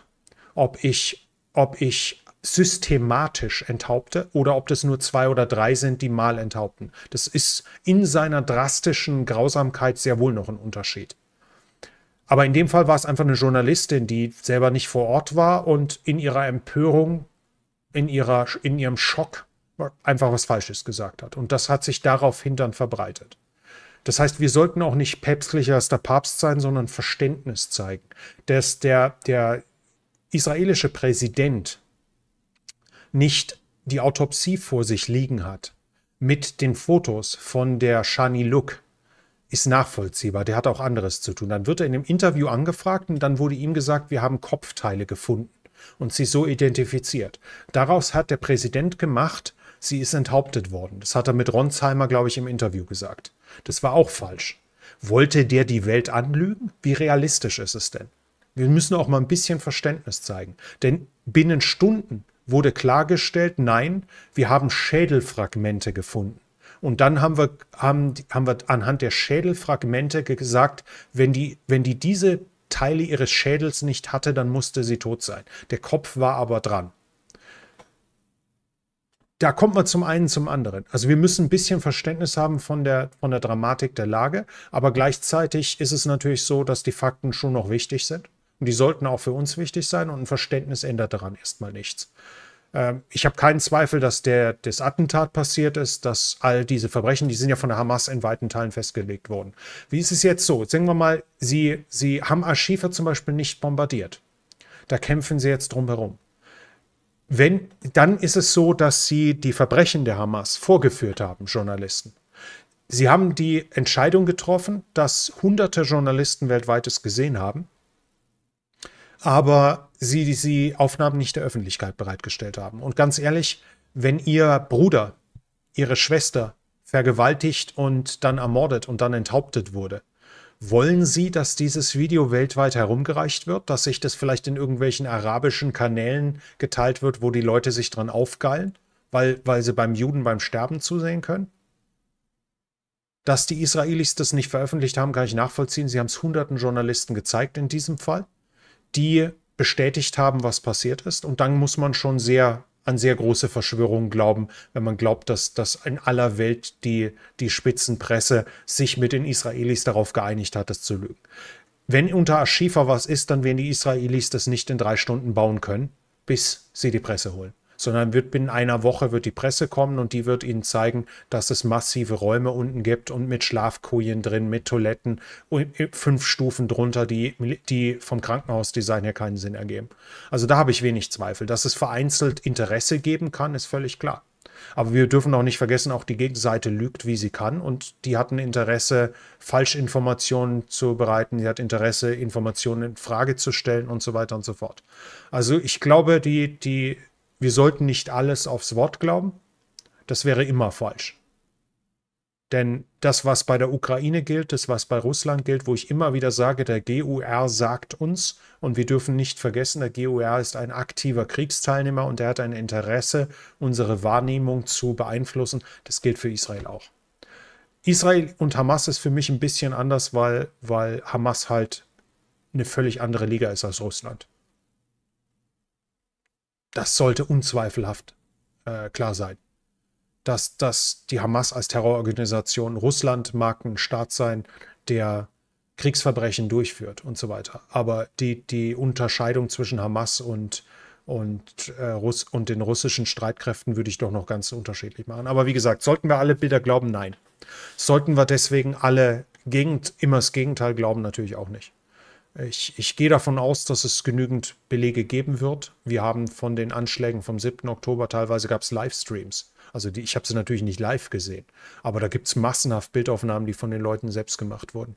Da gibt es keine Zweifel und die, die, hier hat ja wohl das, das Gesundheitsministerium selbst bestätigt, dass es innerhalb des Krankenhauses ist. Und wie wahrscheinlich ist es denn, dass die einen Plan machen, dann ein Motorrad in den Keller zu bringen und es einzustauben?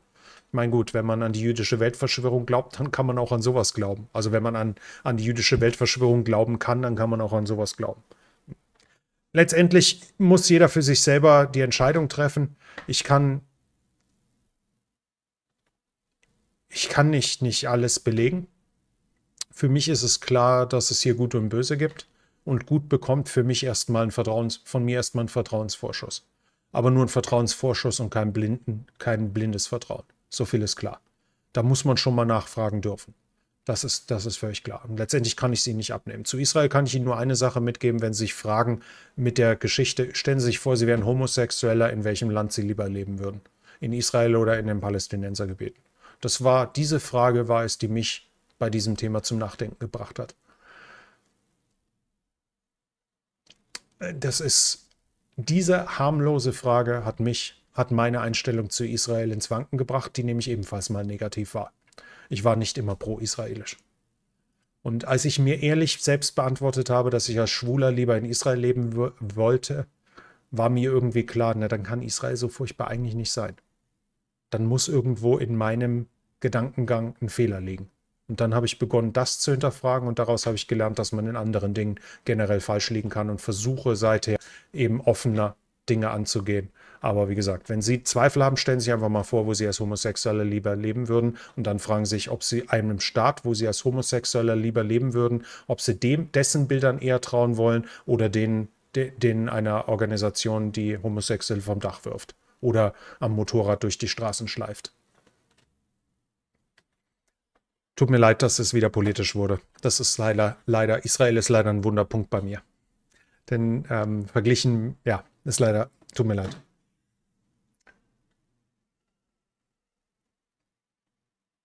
Julian Howie, Dankeschön, danke für die Unterstützung. Welche Luftabwehrwaffensysteme hat die Ukraine für die Front, beziehungsweise kann auch beim Vorsto Vorstoß die Panzer und Infanterie begleiten? Grüße aus Würzburg. Grüße zurück, Herr Heusinger. Ja, der, der Gepard ist prinzipiell dafür gemacht gewesen. Der Vorteil am Gepard war der gepanzerte Geleitschutz. Der konnte mit den Kampfpanzern mitfahren und sie direkt begleiten. Die Russen haben natürlich Ähnliches gehabt, die Sowjets. Die Ukraine hat, müsste Schilka haben. Die ZSU 23-4, glaube ich. Ja, ZSU, glaube ich. Oder nur, ja, ZSU. Schilka ist sie genannt. Die ist im Prinzip sowas ähnliches. Das sie kann natürlich auch OSA oder ähnliches. Und im Prinzip sind auch, sind auch ähnliches wie Tor. Tor zum Beispiel ist ebenfalls äh, fähig mitzufahren. Tunguska könnte ebenfalls mitfahren. Also es, die hätten unterschiedliche, verschiedene Systeme. Sie haben OSA, also letztendlich sehr ein guter Hinweis ist es, wenn das, das Gerät, von dem es abgeschossen wird, auf Kette fährt. Dann ist es normalerweise in der Lage, der Front relativ nah zu folgen. Das ist nicht, nicht universell gültig, aber das können sie, wenn sie so sich das, das, das Material anschauen. Und letztendlich folgen kann ihnen alles. Die Frage ist, will man es riskieren? Die, die, die Ukrainer können natürlich auch Nasams über den Fluss bringen. Können schon. Es ist halt völlig unsinnig taktisch und wird, es wird zeitnah vernichtet, wenn es auf der Seite des Flusses ist. Aber sie haben, im Prinzip ist jedes Flugabwehrsystem in der, geeignet, einen, einen mechanisierten Vorstoß zu unterstützen, was mobil ist und erst recht, was aus der Bewegung heraus auch noch bekämpfen kann. Das kann schon wieder nicht alles. Der Gepard müsste es können. Ähm, ich weiß nicht, ob es OSA auch kann. Schilger kann es, glaube ich, auch. Also es gibt prinzipiell ist es ist alles, was, was die begleiten kann. Ist gar nicht so pauschal zu sagen. Denn wie gesagt, ja gut, dann kann ich hier nochmal schnell einfach die, die Systeme mir anschauen. S300 ist ein strategisches System, das bleibt im Hintergrund. Tor ist Nahbereich. Das würde theoretisch eigne, sich eignen. Strela wäre dafür geeignet, OSA wäre theoretisch dafür geeignet. OSA habe ich genannt und OSA ist auf Rädern, ist dann natürlich ein schlechtes Beispiel letztendlich mit hinter der Front schickt man die Kurz Kurzstreckensysteme.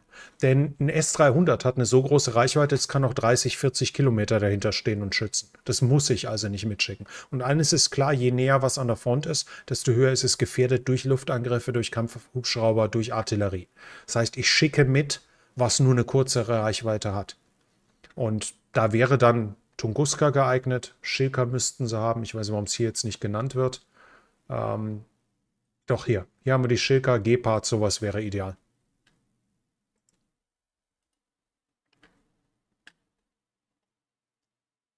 Kali Seppel, danke für die verschenkte Mitgliedschaft. Vielen lieben Dank für die Unterstützung. Taurus Weigerung, Scholz beruft sich ja darauf, dass für die Zieleingabe deutsches Personal nötig wäre. Stimmt das? Oder Ausrede? Ich sehe nicht, wie es stimmen sollte. Dass das deutsche Personal denen das beibringen muss, ist klar, aber das ist doch keine Kernwaffe, die den Atomkoffer hat, wo, wo Scholz den, die, den Schlüssel drehen muss. Das ist. Ähm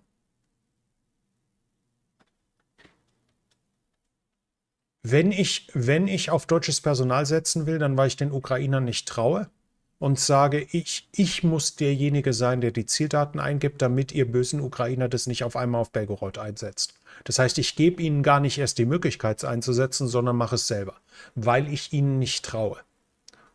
Das ist die für mich einzig schlüssige Erklärung. Allerdings haben die Ukrainer bewiesen, dass sie das Vertrauen rechtfertigen. Abgesehen von einer Handvoll Sturmgewehre in der Hand und, und glaube ich, zwei Humvees. Okay. Aber eine Handvoll Sturmgewehre und, und zwei Humvees waren alles an westlichen Waffen, was die Grenze überquert haben in Richtung Russland. Mit diesen russischen Freiwilligen auf ukrainischer Seite. Das war's. Es ist nicht nachgewiesen, dass je ein westliches Artilleriegeschütz rübergeschossen hat. Marschflugkörper wie die Storm Shadow sowieso nicht, HIMARS nicht, nichts davon wurde auf russischem Territorium eingesetzt. Auch Attackams nicht. Es gibt schlicht keinen Grund. Und das könnte man auch einfach lösen. Man liefert den Ukrainern jeweils nur zehn. Und wenn sie die verschossen haben, bekommen sie neue 10. Und dann müssen sie zeigen, dass sie die 10 nicht nach Russland eingesetzt haben. Also für mich ist es Vorwand. Die einzige Erklärung, dass deutsches Personal nötig ist, ist für mich, wenn man den Ukrainern nicht erlauben will, es selbst zu programmieren, weil man Angst hat, die programmieren dann irgendwas tief in Russland ein. Aber ich sehe nicht, wo das sonst sein sollte. Denn wie gesagt, das ist ja nicht so, die, wie wir es aus den Filmen kennen, dass der Präsident mit dem Verteidigungsminister auf drei drehen wir beide den Schlüssel, um die Kernwaffen auszuzusetzen. Es ist ja nicht so, dass der Scholz im Kanzleramt einen Koffer stehen hat, der die Taurus-Codes enthält. So ist es ja nicht. Angefangen mit, ich mache mal einen Stream und berichte davon, wie die Russen in Tagen gewinnen, zu zweimal die Woche darüber sprechen, wie die Ukraine den Krieg gewinnen könnte und davon leben können. Haben Sie damit gerechnet? Absolut nicht. Und das war ein YouTube-Video. Ich habe ich hab mich schon immer mit diesen Themen beschäftigt und ich habe halt gelegentlich mal auf Facebook was geschrieben. Und das habe ich auch 2020 beim Zweiten Bergkarabach-Krieg gemacht. Das habe ich halt für eine Handvoll, für was weiß ich, die 1500 Leute oder was, die mich auf Facebook abonniert hatten, habe ich das gemacht. Dass ich davon leben könnte, habe ich nie gedacht. Das muss man klar sagen. Denn ich habe mich auch zu Beginn, ich habe ein bisschen nachgegeben, um dem Interessensgebiet, den, den, mich an die Regeln zu halten, dass Thumbnails nun versuchen, Aufmerksamkeit zu erregen und solche Geschichten. Aber wie viele siezen ihrer Zuschauer? Da gibt es ja auch jedes Mal wieder irgendeinen, der sich darüber beschwert, man dürfe nicht im Internet siezen oder sowas. Mache ich halt einfach. Weil ich es für angemessen halte. Und inzwischen müssen wir auch klar sagen, ich dürfte es gar nicht mehr umstellen. Wenn ich auf einmal anfange, sie zu duzen, dann, dann äh, fällt die Hälfte der Zuschauer aus allen Wolken, weil es komplett ungewohnt ist. Inzwischen hat sich das ja als Stil entwickelt. Hier. Müsste ich ja als Marotte einhalten. Also, dass, dass ich, dass es mal so weit kommen würde, absolut, hätte ich absolut ausgeschlossen. Oder ausgeschlossen nicht, ich hätte nur nie damit gerechnet. Das ist klar. Wie betrifft die Mobilisierung die israelische Wirtschaft? 300.000 Menschen fehlen ja jetzt. Ja, klar.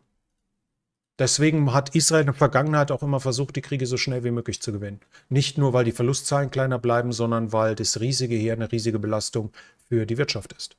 Wenn ich Israel braucht in Kriegszeiten halt theoretisch 500.000 Mann unter Waffen, gerade wenn es gegen Ägypten und Syrien und Jordanien gleichzeitig geht, dann braucht man so viele, wie man nur bekommen kann. Aber die kann man nicht permanent der Wirtschaft vorenthalten. Denn wir dürfen ja nicht vergessen, jeder Reservist ist nicht nur so, dass er der Wirtschaft fehlt als Arbeitskraft, sondern er zahlt auch keine Steuern mehr, weil er ja nichts mehr einnimmt, sondern er bekommt plötzlich Geld vom Staat. Das heißt, Staat, dem Staat bricht nicht nur die Steuern weg, die Einkommensteuer der Arbeitnehmer, dem bricht die Steuern der, der Firmen weg, denn wenn ihnen ein Drittel der Arbeitnehmer in die oder die Hälfte ihrer Arbeit, Arbeitnehmer in, ins Militär gehen, dann ist ihre Produktion höchstwahrscheinlich geringer. Wenn nicht, sollten sie sich vielleicht überlegen, ob sie zu viele eingestellt hatten. Aber das heißt, und wenn sie weniger Produktion haben, weniger Umsatz, zahlen sie weniger Steuern. Und gleichzeitig muss der Staat mehr ausgeben, weil er die ganzen Leute denen ja ein Gehalt bezahlen muss, während sie eingezogen sind. Also für die israelische Wirtschaft ist das ein Problem. Das ist halt aber jetzt eins, was Israel sagt, das müssen wir halt bezahlen, den Preis. Und ganz ehrlich, das ist jetzt auch nicht die Welt, gerade wenn man die Notwendigkeit dieses Konfliktes ansieht. Israel wird nicht wegen, wegen einer Milliarde Schulden aufhören, die, die Hamas zu bekämpfen. Also das, das schadet ihnen, ja, klar, und es schadet ihnen auch spürbar sicherlich. Ich habe keine Zahlen, ich weiß keine, aber mich würde nicht wundern, wenn das die, das Wirtschaftswachstum um vier Prozentpunkte verringern würde oder sowas würde ich für eine realistische, nur um eine Zahl in den Raum zu werfen. Es hängt natürlich massiv davon ab, ob in einer Woche die Hamas sich plötzlich entscheidet, Gaza zu einer offenen Stadt zu erklären. Haha, als ob das je passieren würde und sich, und sich ergibt und alle Geiseln übergibt, ist natürlich eine andere Geschichte, als ob das Ganze jetzt noch acht Monate weitergeht. Aber das wird, wird Israel wehtun, völlig klar. Hugo Michael Vla Waldel Vielen lieben Dank für die großzügige Unterstützung. Dankeschön. Ähm, sorry, die, die Postings sind zu. Okay, ja. Weltsicherheitsrat nimmt Gaza-Resolution mit Waffenruheforderung an. Der UN-Weltsicherheitsrat Unsicherheitsrat hat ausgedehnte humanitäre Pausen für den Gazastreifen gefordert. Eine entsprechende von Malta vorgelegte Resolution passierte das mächtigste Gremium der Vereinten Nationen mit einer klaren Mehrheit von zwölf Ja-Stimmen. Es gab keine Gegenstimme. Drei Staaten, Großbritannien und Russland und die USA, enthielten sich. Der Text fordert unter anderem dringliche und ausgedehnte humanitäre Pausen und Korridore im Gazastreifen, damit Hilfsgüter in das Palästinensergebiet gebracht werden können. Außerdem werden die Hamas und andere Gruppen aufgerufen, sofort alle Geiseln freizulassen. Okay, immerhin. Insbesondere Kinder. Es ist dabei aber nicht die Rede von einem formellen, formalen Waffenstillstand. Alle Konfliktparteien werden zur Einhaltung des Völkerrechts angehalten. Eine Zwangsumsiedlung der Zivilbevölkerung werde abgelehnt. Lebensnotwendige Dienste dürfen den Menschen im Gazastreifen nicht vorenthalten werden. Diese Positionen sind Diplomaten zufolge im Hinblick auf das Vorgehen Israels in der Region zu verstehen. Namentlich wird das Land jedoch im gesamten Dokument nicht gelandt, genannt. Okay. Ähm, ich glaube, Israel wird sich nicht zu sehr darum kümmern. Denn wenn es darum geht, die UN zu verärgern oder seine militärischen Ziele zu erfüllen, dann wird es noch mehr notwendig sein als ein UN-Beschluss. Die UN befasst sich gefühlt sowieso 50 Prozent der Zeit mit Israel. Also, aber ja, hört sich zumindest nicht unvernünftig an. Vor allem die, die Freilassung der Geiseln, das ist schon, kann ich verstehen, warum es keine Gegenstimme gab. Danke, danke, Gregor. Man bekommt durch, den, durch, die Medien den Eindruck, dass die Russen nur unpräzise Artilleriemunition benutzen. Was ist da dran? Haben die Russen vergleichbare Waffen zu M270 Excalibur Panzerhaubitze 2000? Äh, die Russen haben das Tornado-System. Das ist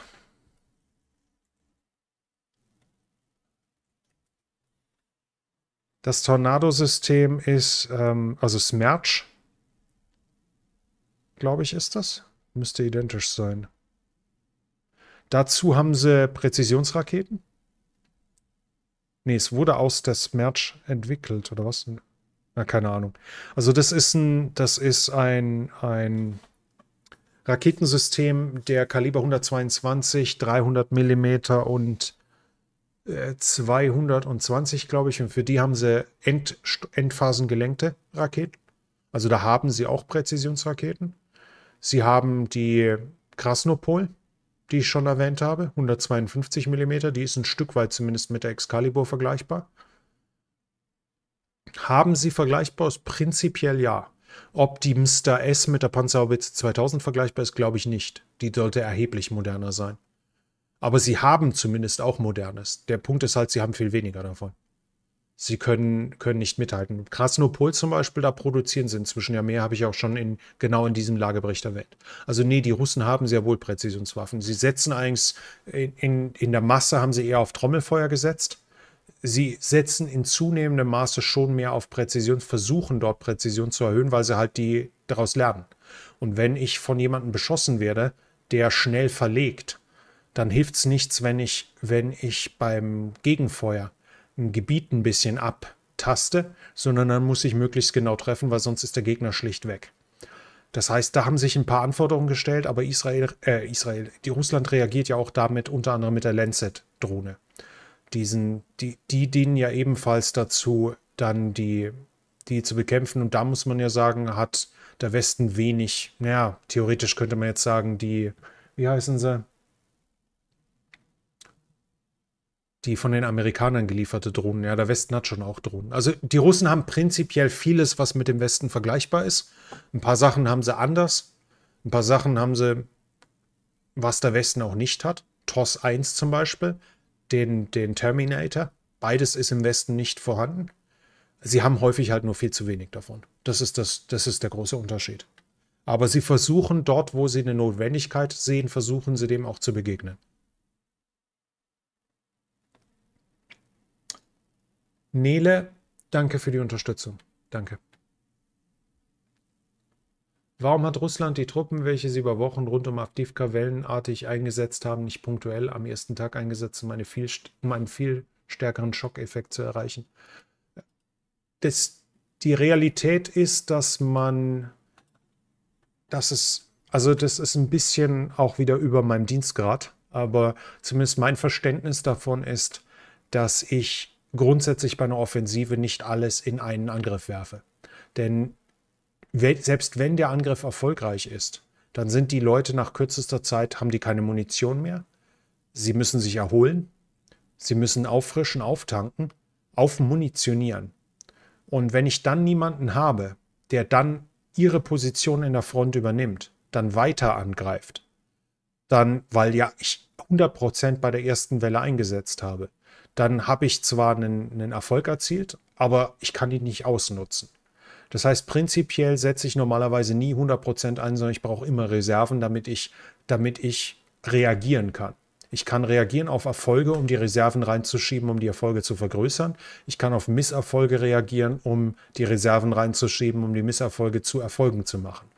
Das heißt, wenn Sie 20.000 Mann haben, ist es wahrscheinlich nicht sinnvoll, die 20.000 auf einer Welle loszuschicken. Davon abgesehen, dass dann die anderen Probleme noch hinzukommen.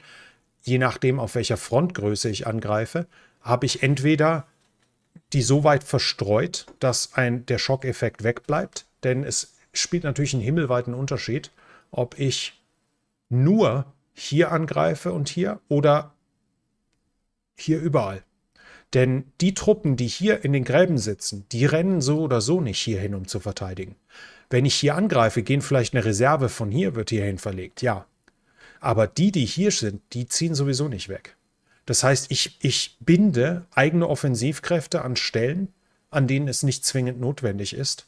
Und gleichzeitig ist es so, dass ich, dass ich die, die, das heißt, wenn ich, wenn ich die Leute einfach verstreue, dann verpufft der Effekt. Wenn ich sie konzentriere, habe ich zwar eine höhere Chance auf Erfolg, allerdings habe ich dann wiederum den Nachteil, dass im Rahmen der heutigen Drohnenaufklärung die viel leichter zu entdecken sind. Wenn die Russen 40 Panzer zusammenfahren, oder sagen wir mal 20 und 20 Schützenpanzer, ist es schwer genug, die heute zu taten mit der Omnipräsenz von Drohnen. Wenn die aber 80 Panzer und 80 Schützenpanzer auffahren, ist es unmöglich. Das heißt, in dem Moment ist ein Überraschungsmoment auch nicht mehr möglich. Das ist ebenfalls ein Faktor, der dagegen spricht, alles auf einen Schlag einzusetzen. Danke, Fuzzy. Fuzzy wies mich darauf hin. Switchblade war der Name der Drohnen, den, der mir entfallen war. Switchblade 300, Switchblade 600. Ich glaube, es gibt sie auch noch in anderen 100er Größen. Ich glaube, es gibt auch Switchblade 100 und so weiter. Aber ähm, das heißt, spricht dagegen, wenn ich zu sehr konzentriere, stehen sich irgendwann auch im Weg die brauchen ja auch noch, die müssen sich entfalten können, um, um ihren Erfolg zu erzielen. Und dann sprechen wir zum Beispiel, ich will, ich habe vielleicht nur eine bestimmte An Anzahl von Geräten, um Minen zu räumen. Da hilft es mir nichts, wenn ich auf breiter Front anfahre, weil die am Ende doch wieder alle durchs Nadelöhr müssen. Und währenddessen stehen sie rum und warten und werden von der Artillerie zerhauen. Das heißt also, die Konzentration, wenn die zu hoch wird, ist gerade in der jetzigen Phase, bedeutet es, sie wird sofort erkannt und zerschlagen. Ich bin vielleicht durch Minenräumgeräte aufgehalten und ähm, kann mich nicht zu sehr konzentrieren und ich brauche eine Reserve, um anschließend weiter vorrücken zu müssen. Das spricht dagegen, dass ich mein gesamtes Potenzial auf einen Punkt konzentriere. Und wenn ich es verstreue, verpufft der Effekt. Also daher ist es meines Erachtens, wie gesagt, das kann Ihnen sicherlich jemand, der die entsprechenden Ausbildungen hat, besser erklären. Aber ich glaube, allzu falsch war das, was ich jetzt gesagt nicht ha habe, nicht. Nach meinem Verständnis ist es schlicht so, dass es unsinnig wäre und die Russen es prinzipiell sehr wohl in der jetzigen Situation richtig gemacht haben. Sie haben genug konzentriert, um eine drückende lokale Überlegenheit zu erreichen. Die hat ihnen halt wenig geholfen, weil die Panzerabwehrwaffen, die Drohnen, die FPV-Drohnen, die Artillerie halt heute solche Angriffe sehr, sehr schmerzhaft machen. Sie haben aber dennoch mit Zahlen angegriffen, die den Ukrainern weit überlegen waren. Gleichzeitig aber nicht mit so vielen, dass die Artillerie eine noch erfolgreichere Ernte einfahren konnte. Also ich glaube, dass es. Und dann brauchen sie auch noch Reserven. Was ist aus dem AKW geworden? Immer wieder mal gibt es irgendwelche Geschichten, aber de facto nichts mehr.